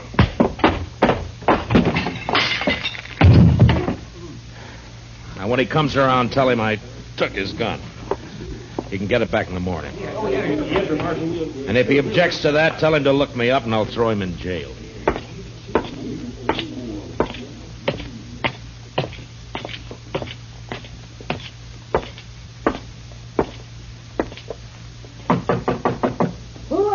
It's Matt, Kate. Well, come on in.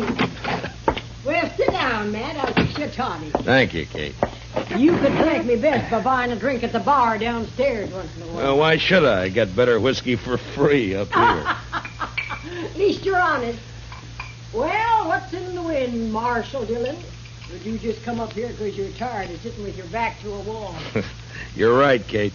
It's the only place in Dodge where I can relax. That's probably just because you don't consider me worth killing. How old am I, Matt? Oh, what? You heard me. Well, uh, I never thought much about it, Kate. You sure didn't. What are you getting at, anyway? Just that if I was 20 years younger, you probably wouldn't come here at all. No? And why? Here's your toddy. Forget it. Anything you say, Kate. you know, Matt, you ought to get yourself a girl. Oh, now, Kate, don't start I mean that, it. please. Sure, somebody like, we'll say Connie Dell. There's a real pretty girl. A lot of fire. Oh, too. you're sure a conniving old woman, Kate. You're just no good at all, you are. You say worse than that. I told Connie she'd come up and have a drink with us the next time you showed. all right, Kate, if it pleases you. It does. Connie! Now there's fresh cigars in that box by your chair, Matt. Well, now. Had 'em brought in by the Santa Fe Railroad all the way from St. Louis. Evening, Miss Kate. Oh, come on in, Connie. I've corralled the marshal for you. Sit down, honey. I'll fix you a drink. Uh, don't let her talk bother you, Connie. Well, I, I did ask to meet you, Marshal. No? Why? Why'd you want to meet me? Hmm. Maybe just to see if you're really as cold and cruel as you seem downstairs. And? I can't tell yet. But I don't think you are. Yeah, a profession like mine leaves its mark on a man. There's always trouble of some kind, isn't there? Most always. Like this army business now. Yeah. Will it be bad, Marshal? Yeah, it could be. Well, I'll figure it this way, Matt. The major's in trouble and he's trying to cover it up by threatening to take over Dodge. Well, any more difficulties and he will do it. Blasted green word. Uh, say, Connie, your corporal been in? He left a while ago. Well, what's he say? How'd the soldiers feel about all this? Well, I don't think they want to mix it with all these gunmen and buffalo hunters and the like. Yeah. The major will wish he were back on maneuvers if it starts. Maneuvers. So that's where they've all been. No wonder it's been so quiet. But that corporal of yours, Connie, how come he didn't go out? He's not my corporal, Miss Kate. He's he's just a lonely kid. all right. Seems like he spends more time here than at the fort. How's he manage that? Oh, they made him a clerk, a sort of bookkeeper. His time's pretty much his own. Uh-huh. Well, he's lucky. He's got a good, safe job, too. Suppose it is. Well, I- I'd better get back. Now that we've met, Marshal, you might stop and buy me a drink next time you're here. I'm afraid not, Connie. No? You're too distracting. I might get careless and shot at. I take that as a compliment, Marshal. It is. Good night, Marshal. Thanks, Miss Don't you mention it, honey. Well, Matt? You said her name's Connie Dell, Kate. Where's she from? I never asked the girls anything. Yeah, maybe, but you always find out. Now, come on, tell me. Hays City, last. Uh-huh. Um, what's the name of this corporal who's been sniffing around? Bowers, Corporal Bowers. Oh, here, let me sweeten that toddy for you. All right. You put me in mind of a man I knew back in Wichita. Yeah? He was the slipperiest, side-windingest, stubbornest man I ever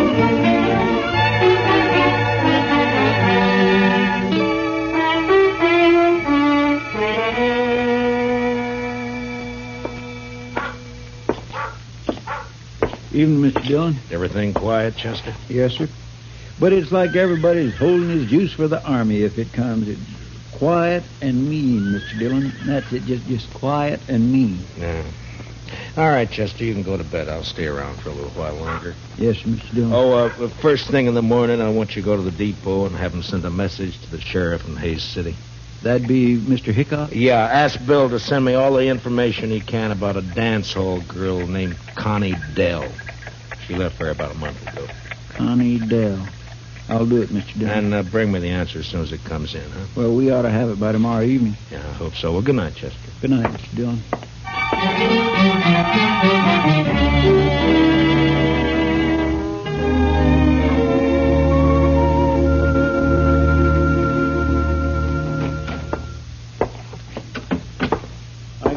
Mr. Hightower down at the railroad depot, Mr. Dillon. It come in at 7 o'clock. Oh, good. Let me see it, Chester. Here.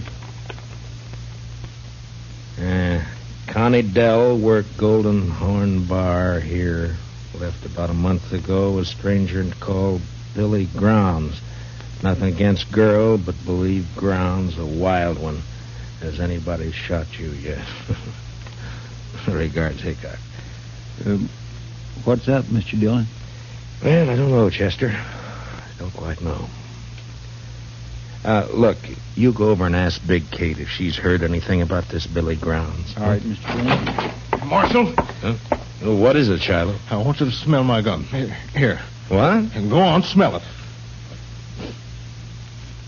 Yeah, all right. It hasn't been fired. What are you worried about? Well, uh, I've been talking a lot lately, and a, a man was just shot out behind the Long Branch. A soldier.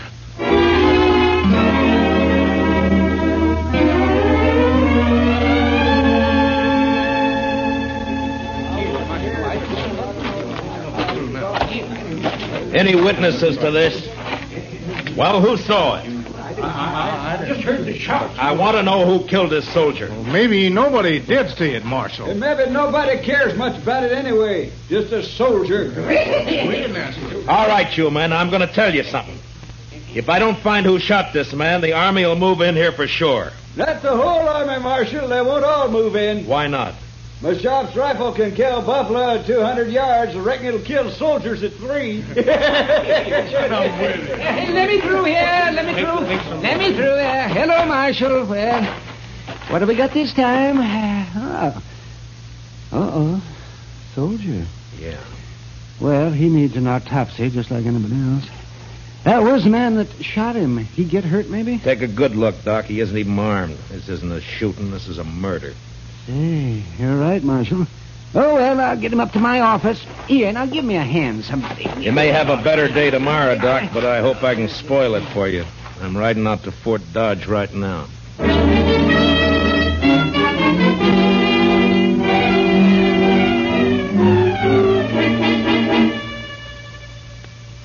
Well, Marshal, what brings you here? Trouble, Major. What sort of trouble? Murder? A soldier? Yeah. Who? I don't know, some private. Why haven't I been informed of this? It just happened about an hour ago. In Dodge City, of course. In Dodge City. Have you arrested the murderer? Nobody saw it happen. I see. Well, Marshal, you leave me no choice. I shall have Now, to. hold it, Major. I didn't ride out here just to carry news for you. I want something from you. From me, Marshal? Yeah. I want you to keep all soldiers out of Dodge for the next 48 hours. Put it off limits. That's not exactly what I had in mind, Marshal. But you're going to do it anyway. What? Now listen, Major. Dodge City's an armed camp. It's full of men who fought Indians, who fought the war between the states, and who fought each other ever since they could spit. They'll fight you next. They'll make you hate it. Marshal Dillon, I shall report your treasonable talk. Report what you like, but stay out of Dodge. Now I'll make you a deal, Major. Give me 48 hours and I'll find your killers. You better take it. All right. But I want the criminals delivered here. Sure, Major. And I might have to kill them to get them here.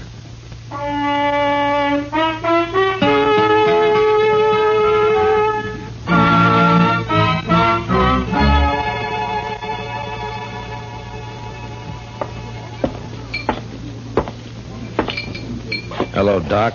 You drinking up the profit you made off of that soldier? Ah, that's, uh, oh, oh, oh, hello, Marshal. Eh, the uh, boy's name was Bone, according to the letter I found on him. Uh huh. Anything else? Yes, dug a couple of slugs out of him. It's a funny thing, Marshal. I haven't happened on lead like that since 65. What do you mean, Doc? Well, I'd swear that boy was shot with a cavalry pistol. I'll see you later, Doc. And mind you can't prove it. Not exactly, but I would swear.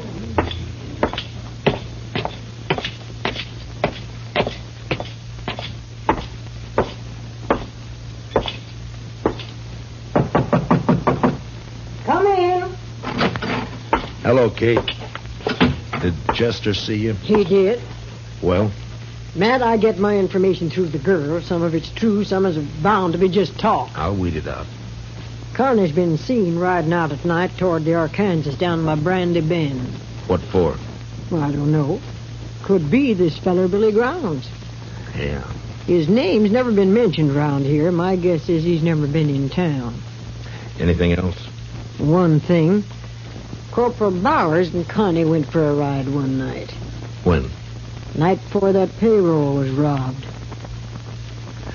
Figures. Where's Connie now? Over at the Longhorn eating a steak. It's kind of late for supper, isn't it? She works late. Matt, Yeah. next girl I steer you into, I'll pull her fangs first. no, thank you, Kate. I like them better this way.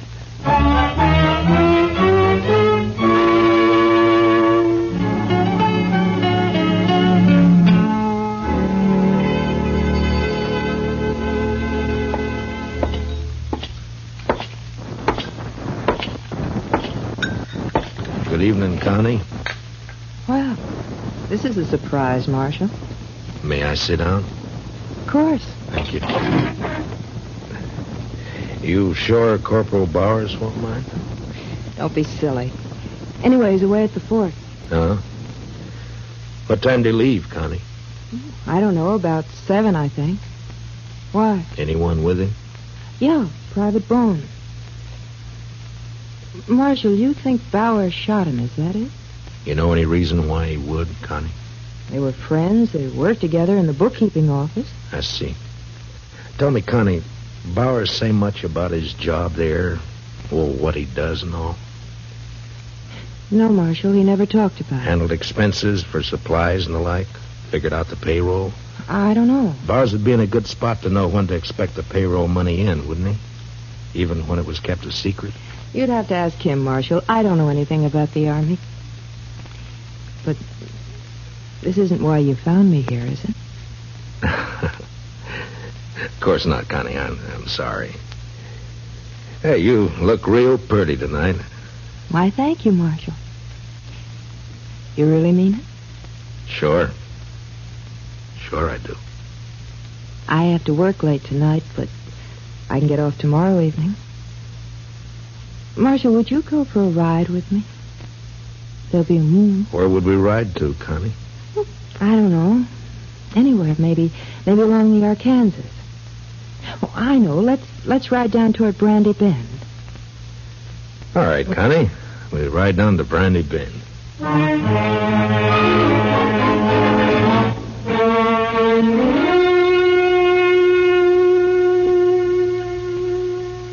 All dressed up, Mr. Dillon. You going somewhere? Yeah, after supper I am, Chester. Got me an engagement. Going riding with Connie Dell in the moonlight along the river. Is she a nice girl, Mr. Dillon? All girls are nice, Chester. Some fall in with bad company, that's all. Yes, sir. Mr. Dillon, Yeah, who'd this one fall in with? me. Oh, now, Mr. Dillon, that's not so. Then who'd you think, Chester? Well, come on, tell me. Billy Grounds? You don't give me much credit for romance, Chester. No, sir. well, don't look so worried about it. Uh, I, I was thinking, would you like me to follow you tonight? Indian style? Uh, thanks, Chester, but it wouldn't help. You see, I'm riding into an ambush. It'll be over fast. Real fast. Well, all right, Mr. Dillon, if that's the way you want it. That's the way it's got to be. Uh, and as soon as I leave, I want you to ride out to Fort Dodge and see the major. Yes, sir. Uh, what Uh, about... Tell him to arrest Corporal Bowers for the murder of Private Bone. I think Bone found out where the leak about that payroll money came from, and Bowers had to shut him up. The major won't like that, will he? Well, tell him I'll prove it. And anyway, I think Bowers will confess fast enough when the time comes. When'll that be, Mr. Dillon? When I get back to town with Billy Grounds. What about the girl? Well, it's like I told you, Chester. Nice girl, bad company. You know, I had me a girl once. Huh? Well, well, you never told me about that, Chester. What happened? It was over in Abilene. I gave her my money to go to St. Louis and buy some wedding clothes. She wanted that. So? Well, I don't know, Mr. Dillon.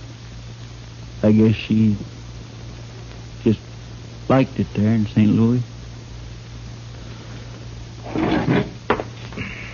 I'm going down the street, Chester. You better get started for the fort soon. Yes, sir, Mr. Dillon.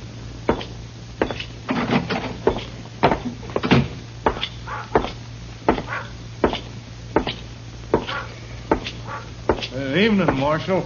Uh, hello, Shiloh. I feel another drunk coming on, Marshal. Well, then check your guns back there with Chester. What if the army comes tonight? I'll need my gun. And stay sober. But uh, if the army doesn't come, I'll have stayed sober for nothing. Every man's got his problems, Shiloh. But uh, if I see you drunk and wearing your gun, you'll wake up broken-hearted in jail tomorrow. Tonight I'm going to get drunk enough to draw on you, Marshal. That so, Shiloh? Then some night you're going to die.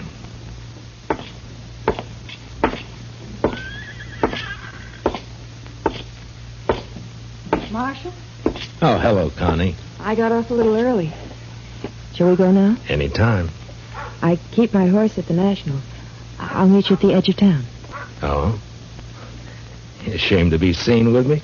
Well, oh, no, Marshal, but well, you know how people talk. Sure, Connie. I'll wait for you just down the trail. I'll hurry.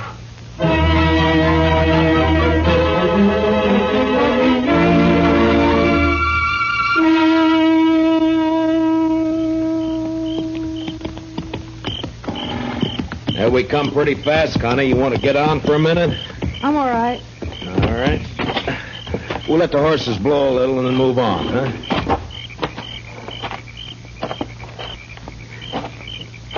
You nervous, Connie? No. Why? Well, then sit down and relax. All right. This better? Yeah. Ah, sure is a nice night. Yeah, it's beautiful. You're not even looking at it, Connie. Is something on your mind? No, of course not. Why should there be? I don't know. You tell me. It, it's nothing, Marshal, really. Connie, let me ask you something. You ever see a man killed? What? Wh- Why'd you say that? Well, did you? Yes. Once in the saloon. Huh. Tell me. Do you have a fair chance? Yeah, he, he even drew first. Then you never saw a man shot in the back. Or ambushed. What do you mean, Marshal? I think it sort of goes against your grain, Connie, the idea of a man being killed without a fair chance. I get it, Marshal. All right.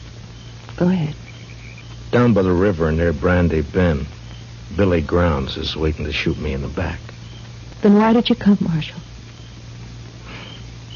It's my job. I suppose you know about everything. I think so. What what are you going to do? Connie, unless I made a mistake about you, I I think you're gonna let me have a fair chance at him. Somehow. Why should I? What does it mean to me? I don't know, Connie. I, I don't know. But you think about it. You think about it all the way to Brandy Bend. Now, come on, let's ride.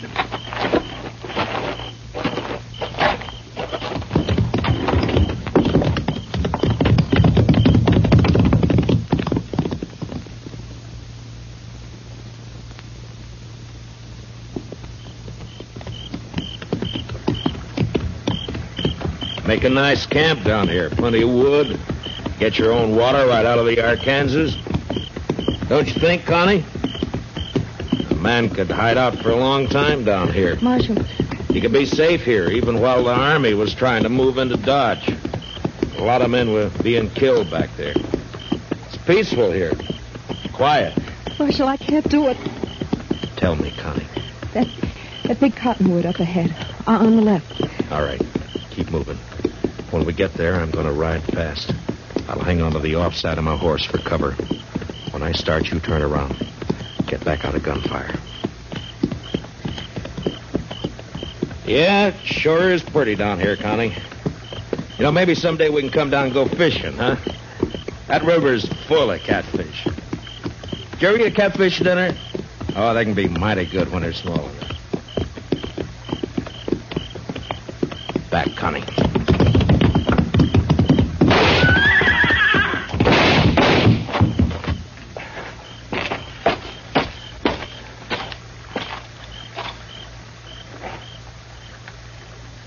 Connie?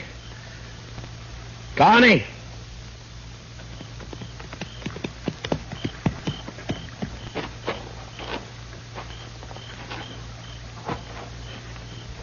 Yeah, he's dead, Connie. I'm all right, Marshal. I'm sorry about this, Connie. I'm sorry I had to do it. He killed your horse. I'll show you where his is. And the money. Then you can take me back to Dodge. Jail. All right, Connie. But you won't be in jail for long. You have my word. Not for long. Let's go, Marshal.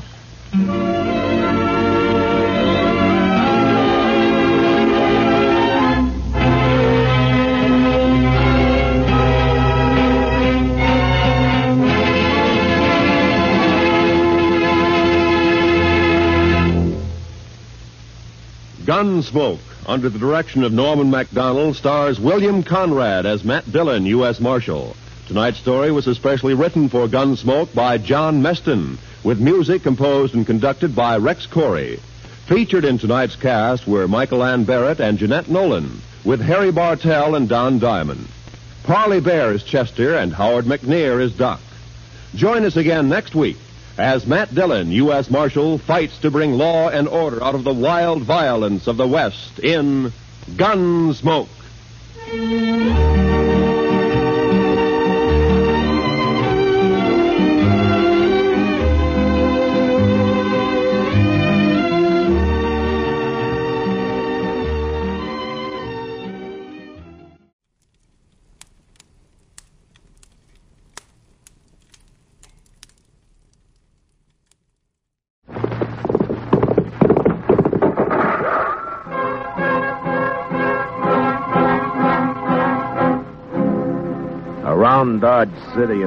Territory on west, there's just one way to handle the killers and the spoilers, and that's with a U.S. Marshal and the smell of gun smoke.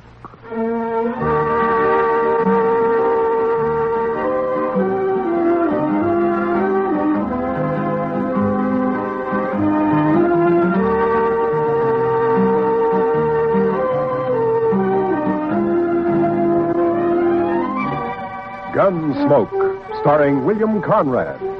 The story of violence that moved west with young America. The story of a man who moved with it. Matt Dillon, United States Marshal.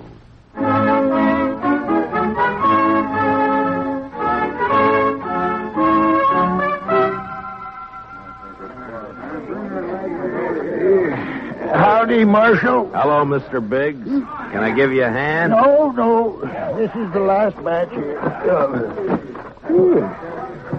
Hey, wait till the flies get to these buffalo hides in the morning and be enough vultures overhead to keep the place in shade for a week. yeah. You know, you'll sure have your hands full by tomorrow night. It looks that way. When these boys turn them hides into cash, they'll bite the corks out of every bottle in town.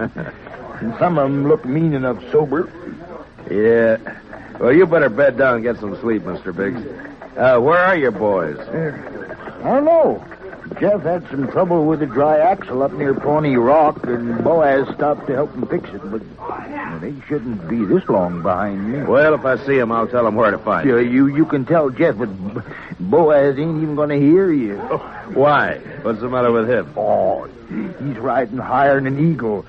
You know that white buffalo you've been hearing about? The albino? Mhm. Well, it's just Indian talk. Oh, you think so, huh? Well, if it is, Boaz sure shot himself a mighty scared buffalo. White as borax. Huh. That ought to fetch a price. Hey, anybody seen Marshal Dillon? Over here, Chester. You better saddle up, Mr. Dillon. What's the matter, Chester? Indian trouble. Two men dead and a couple of wagons burned up out there. I found this. A war rattle. Made out of buffalo toes. Arapaho. Well, they haven't been making any trouble. Well, these did. I, I I was topping a hill when I saw the wagons go up in fire. It was Indians, all right. I saw one ride off. That's funny. I never heard of Arapahoes attacking at night. How far out, Chester? Ten mile, maybe? Toward Pawnee Rock? Pawnee Rock. Marshal, my sons is coming from there. Easy, Mr. Griggs. Lots of wagons in the territory. Marshal, I didn't see another wagon between here and Pawnee except the ones we had, but the Indians killed my boys. There's only one way to make sure, Mr. Biggs. Saddle up and ride over to my office. I'll be with you as soon as I can get my horse.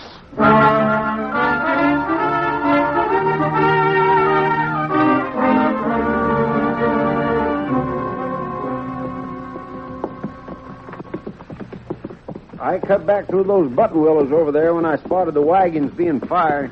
We must be close to it, then. Just over there. Right down yonder. See him? Yeah. I see him. We rode up and dismounted. The last glint of hope in Mr. Biggs' eyes died. His boys were there, all right. And it wasn't nice to see. Kill him. I'll get him, please. I'll murder every redskin in the territory. We gotta bring your sons in, Mr. Biggs. You know what the morning's gonna be like. You don't want to leave them out here. Now, come on. Hey, look. Down there by the stream. Yeah, four of them. They're not saddle horses. Mr. Biggs. Mr. Biggs. You Yeah. recognize those horses down there? Yeah. I know 'em. Teams belong to Boaz and Jeff. Indians must have cut them loose from the wagons before they fired. Doesn't that seem curious to you, Chester? In what way, Mr. Dillon? Why didn't they take the horses with them? Yeah. What are you thinking, Marshal? No burned hides in those wagons. So they stole them. Yeah, they stole them. But Boaz and Jeff both have their rifles there beside them, and the horses are left behind, too. Horses and guns are the first things Indians would go for. What are you looking for, Mr. Dillon? Those buffalo hides weren't carried off without wagons. Yeah, here. Marks the two other wagons here, and they're fresh. I didn't see any other wagons, only these. Well, they'd finished and gone before you got here, Chester. Well, yeah, but I, I'd have caught up to any wagons on the trail to Dodge. Did you go by regular trail? Well, no, I. I figured the Indian I saw wasn't alone. I didn't want to get bushwhacked further on. You didn't see any Indian, Chester. But Mr. Dillon, just as plain No as... Indian would leave guns and horses. This job was done by white men. It didn't take anything that could be recognized or identified. You mean somebody's in Dodge by now? With the hides my boys worked and sweated to get? I'm afraid so, Mr. Biggs. Oh, there'll be more than 300 buffalo hunters there by morning. Could be any of them. We'll find the right ones. Oh, how? The albino. Whoever killed your sons will have that white buffalo hide.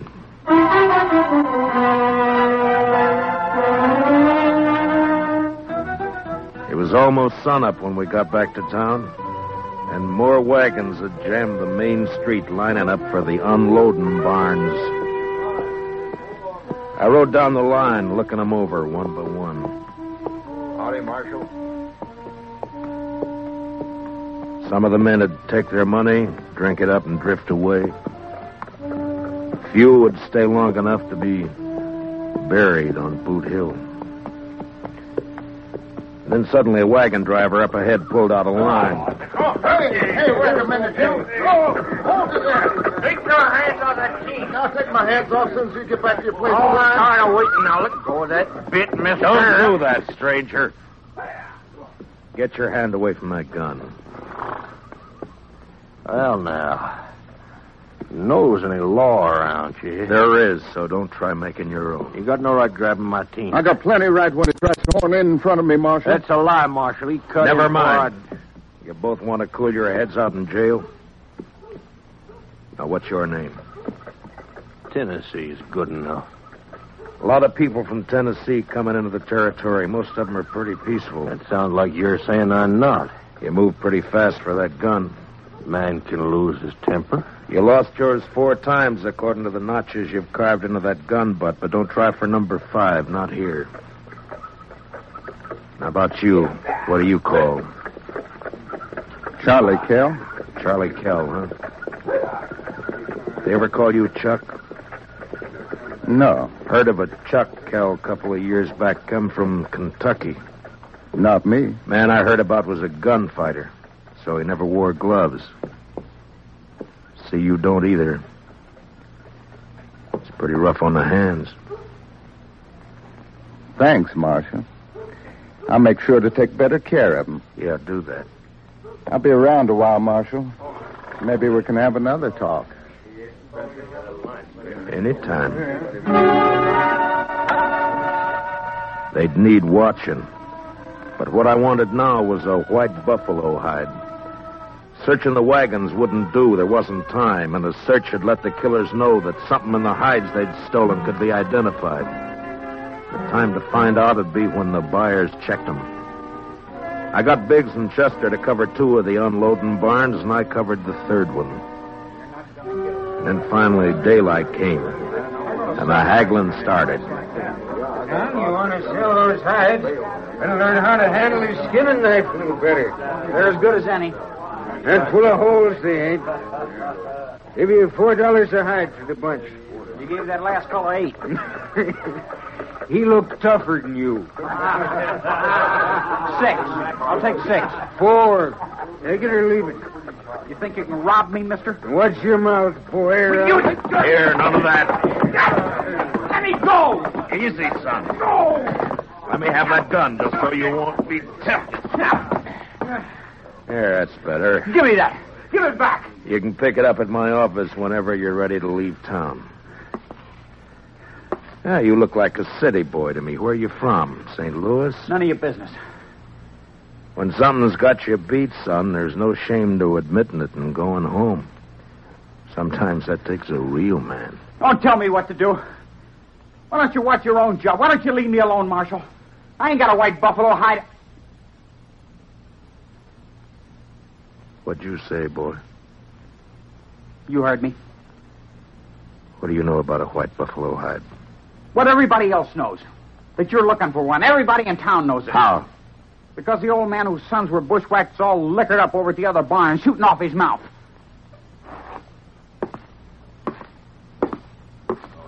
Don't go away mad, Marshal.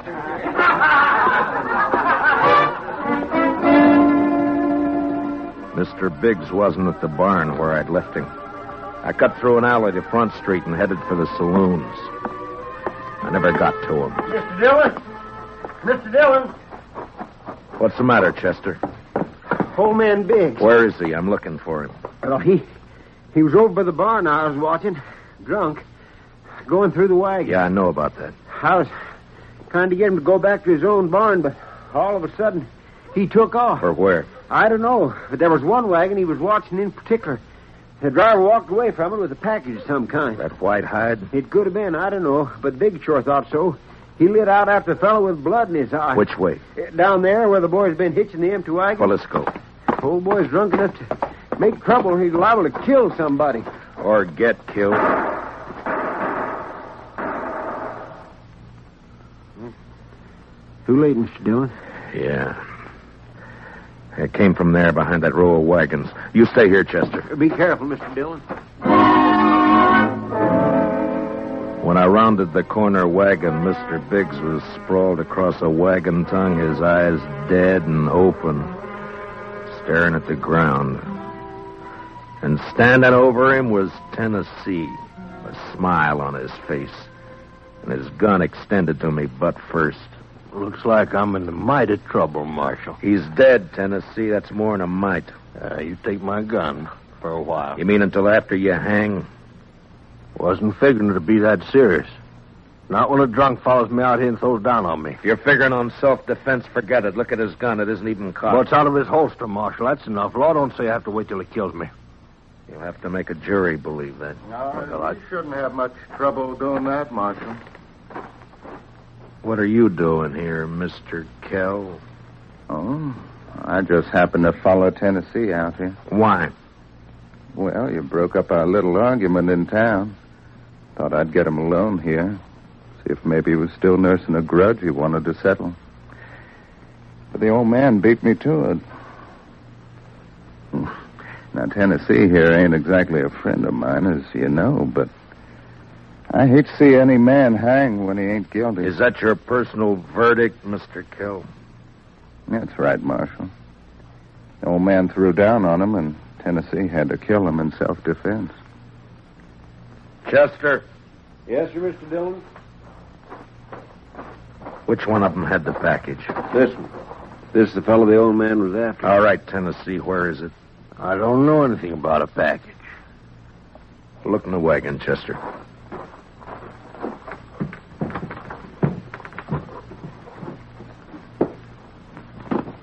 See anything?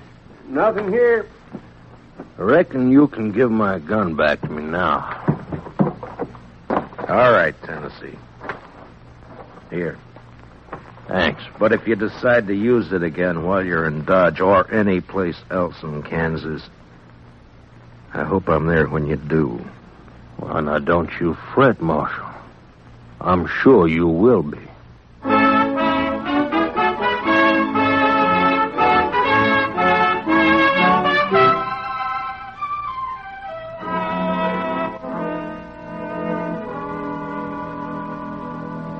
Just before sundown, we buried old man Biggs and his two sons up on Boot Hill. By the time the service was over and I rode down, darkness had fallen, and everything was going full blast. The town was roaring. Seemed like a good man, old Biggs. He was, Chester. So were his boys. Yeah, but there are too many men like Tennessee and Kell coming in, Mr. Dillon. They won't last, Chester. They'll keep coming, but they won't last. They'll take a gun and go against a man, but they won't sweat. They won't take root and build. We still gonna look for that hide? Yeah. Well, just what do you want me to do, Mr. Dillon? Tennessee and Kell will be in town, but their wagons are back there with the other empties. Ride back and look 'em over. Well, they might have had somebody carry that package off for 'em. It might be, but they don't seem like partners, Mr. Dillon. From what I heard, you stopped them from gunfighting. Took more than one man to kill the Biggs boys, and more than one man and more than one wagon to cart the hides in. Well, you mean they staged that trouble just for you? Just for me. After they heard I was looking for that white hide. Well, why do you figure that, Mr. Dillon? When gunfighters start for their guns, nothing stops them, Chester. They both started, but they both stopped. I reckon you better take a look through those wagons. Yes, sir, Mr. Dillon. Uh, where'll I meet you? I'll be checking the saloons.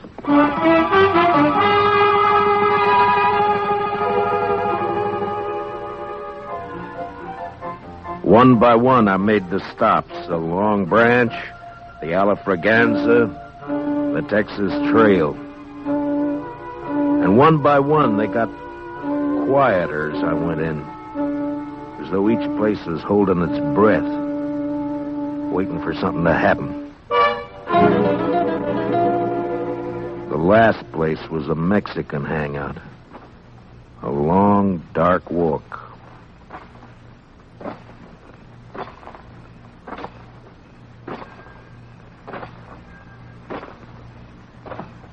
Hello, Marshal.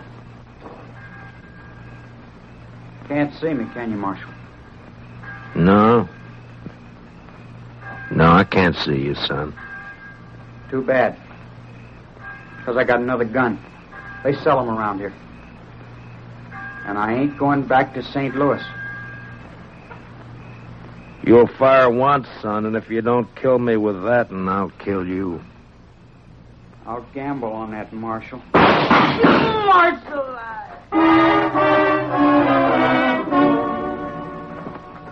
He lurched from the shadows into the street, staggered, and fell. And then he rolled over on his back, and his eyes struggled for a minute like they were trying to remember something. And then he went blank. Well, he was right about one thing. He wasn't going back to St. Louis. Well, what do you know? The marshal's real handy with a gun. Stay out of this, Kell.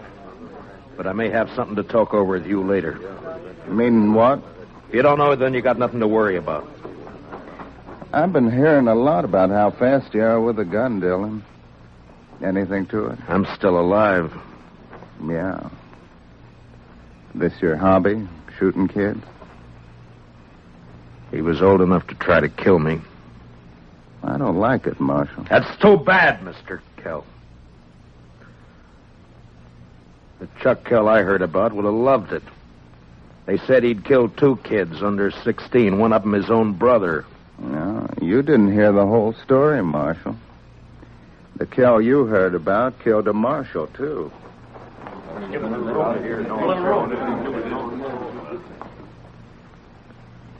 You made the bid, Mr. Kell. And you got a gun. Use it or I'll take it away from you. Come and get it. Anytime. Here it is.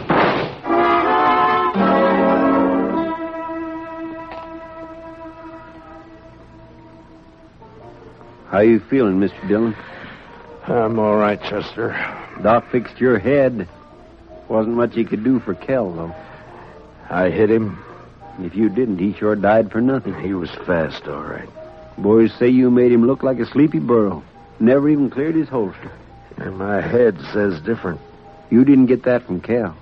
What do you mean? Tennessee was up the street with a rifle. He creased you. Huh? Where is he now? I don't know, Mr. Dillon. He rode out of town before I could stop him. I was the only one who saw him. I was coming up street to find you. All right. Let's get out of here. Did you find anything in the wagons? No, sir. But I found Tennessee's wife. Wife? That's right, Mr. Dillon. In a small wagon next to his. He's a squaw man. His wife's an Indian girl. Well, let's find her.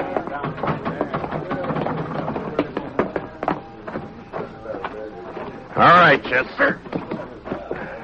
Which way? Edge of town, Mr. Dillon. Well, let's go.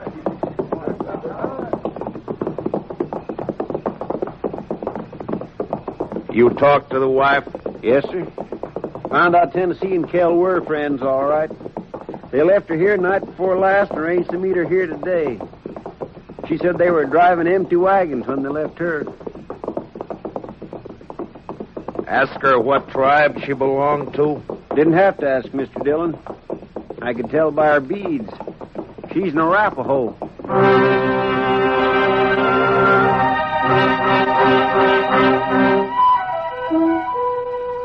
She was there, all right. Crouched by the wheel of a wagon. Her face was bloody, she stared into a small campfire, rocking back and forth without a sound. She wasn't beat up when I left her, Mr. Dillon. Where's your husband? He gone. Gone where? He gone. Tell me which way he went, and I'll bring him back to you. No.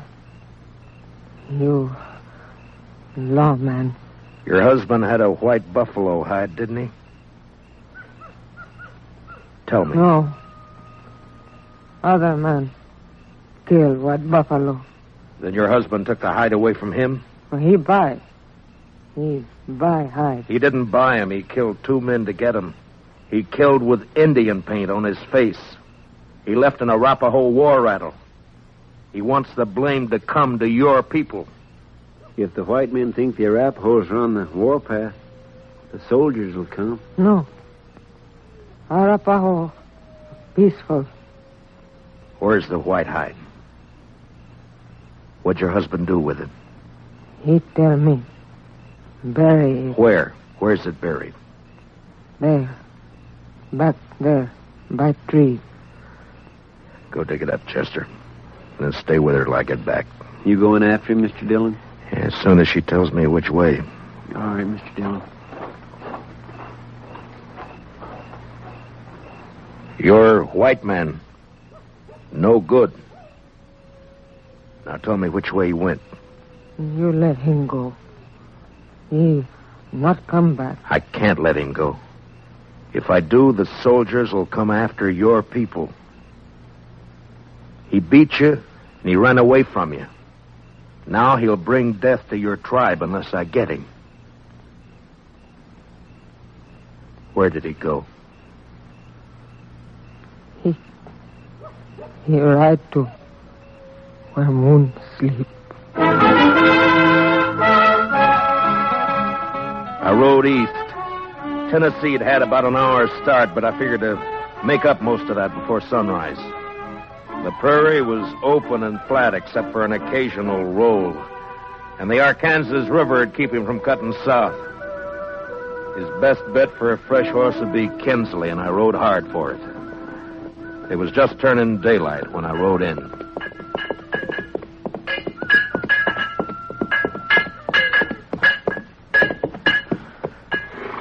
Well, howdy, Marshal. Morning. Good morning. Got a place I can water my horse? Trough right there. Just let him loose. He'll find it. Thank you.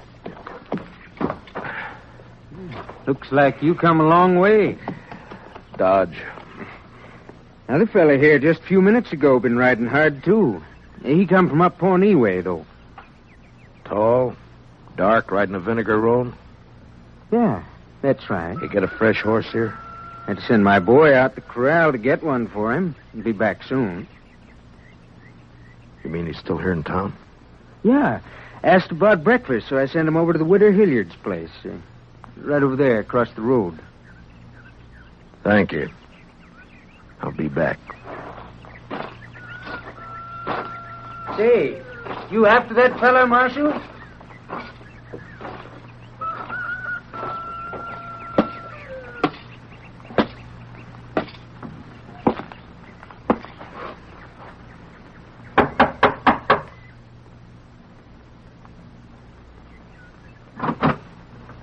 Yes? Understand you're serving breakfast, ma'am.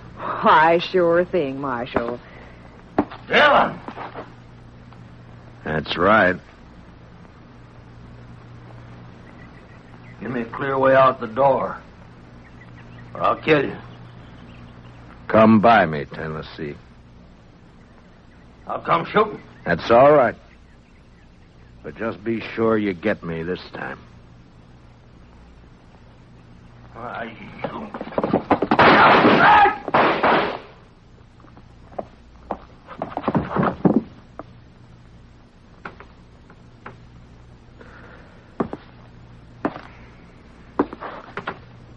hurt, ma'am. No, I... I'm all right, Marshal. He looks kind of dead. Yeah. Bad one, hmm? Yes'm. Gunfighter. Thief. Killer. What's your name, Marshal? Dillon, ma'am. Matt Dillon. I, uh, I'm sorry about Marshal. When my husband brought me out here 15 years ago, Indians burned this place down three times. I'm used to killing. You want to carry him out? I'll go fix you that breakfast.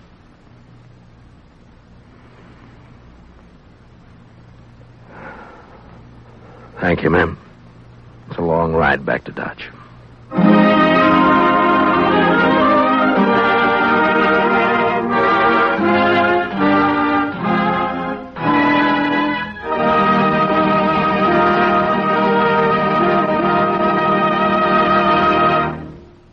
Gunsmoke, transcribed under the direction of Norman Macdonnell, stars William Conrad as Matt Dillon, U.S. Marshal. Tonight's story was specially written for Gunsmoke by Joel Murcott with music composed and conducted by Rex Koury. Featured in tonight's cast were Stan Waxman, John Dehner, and Larry Dobkin with Sam Edwards, Lillian Buyeff, Tom Holland, and Mary Lansing. Parley Baer is Chester. Join us again next week as Matt Dillon, U.S. Marshal, fights to bring law and order out of the wild violence of the West in Gunsmoke.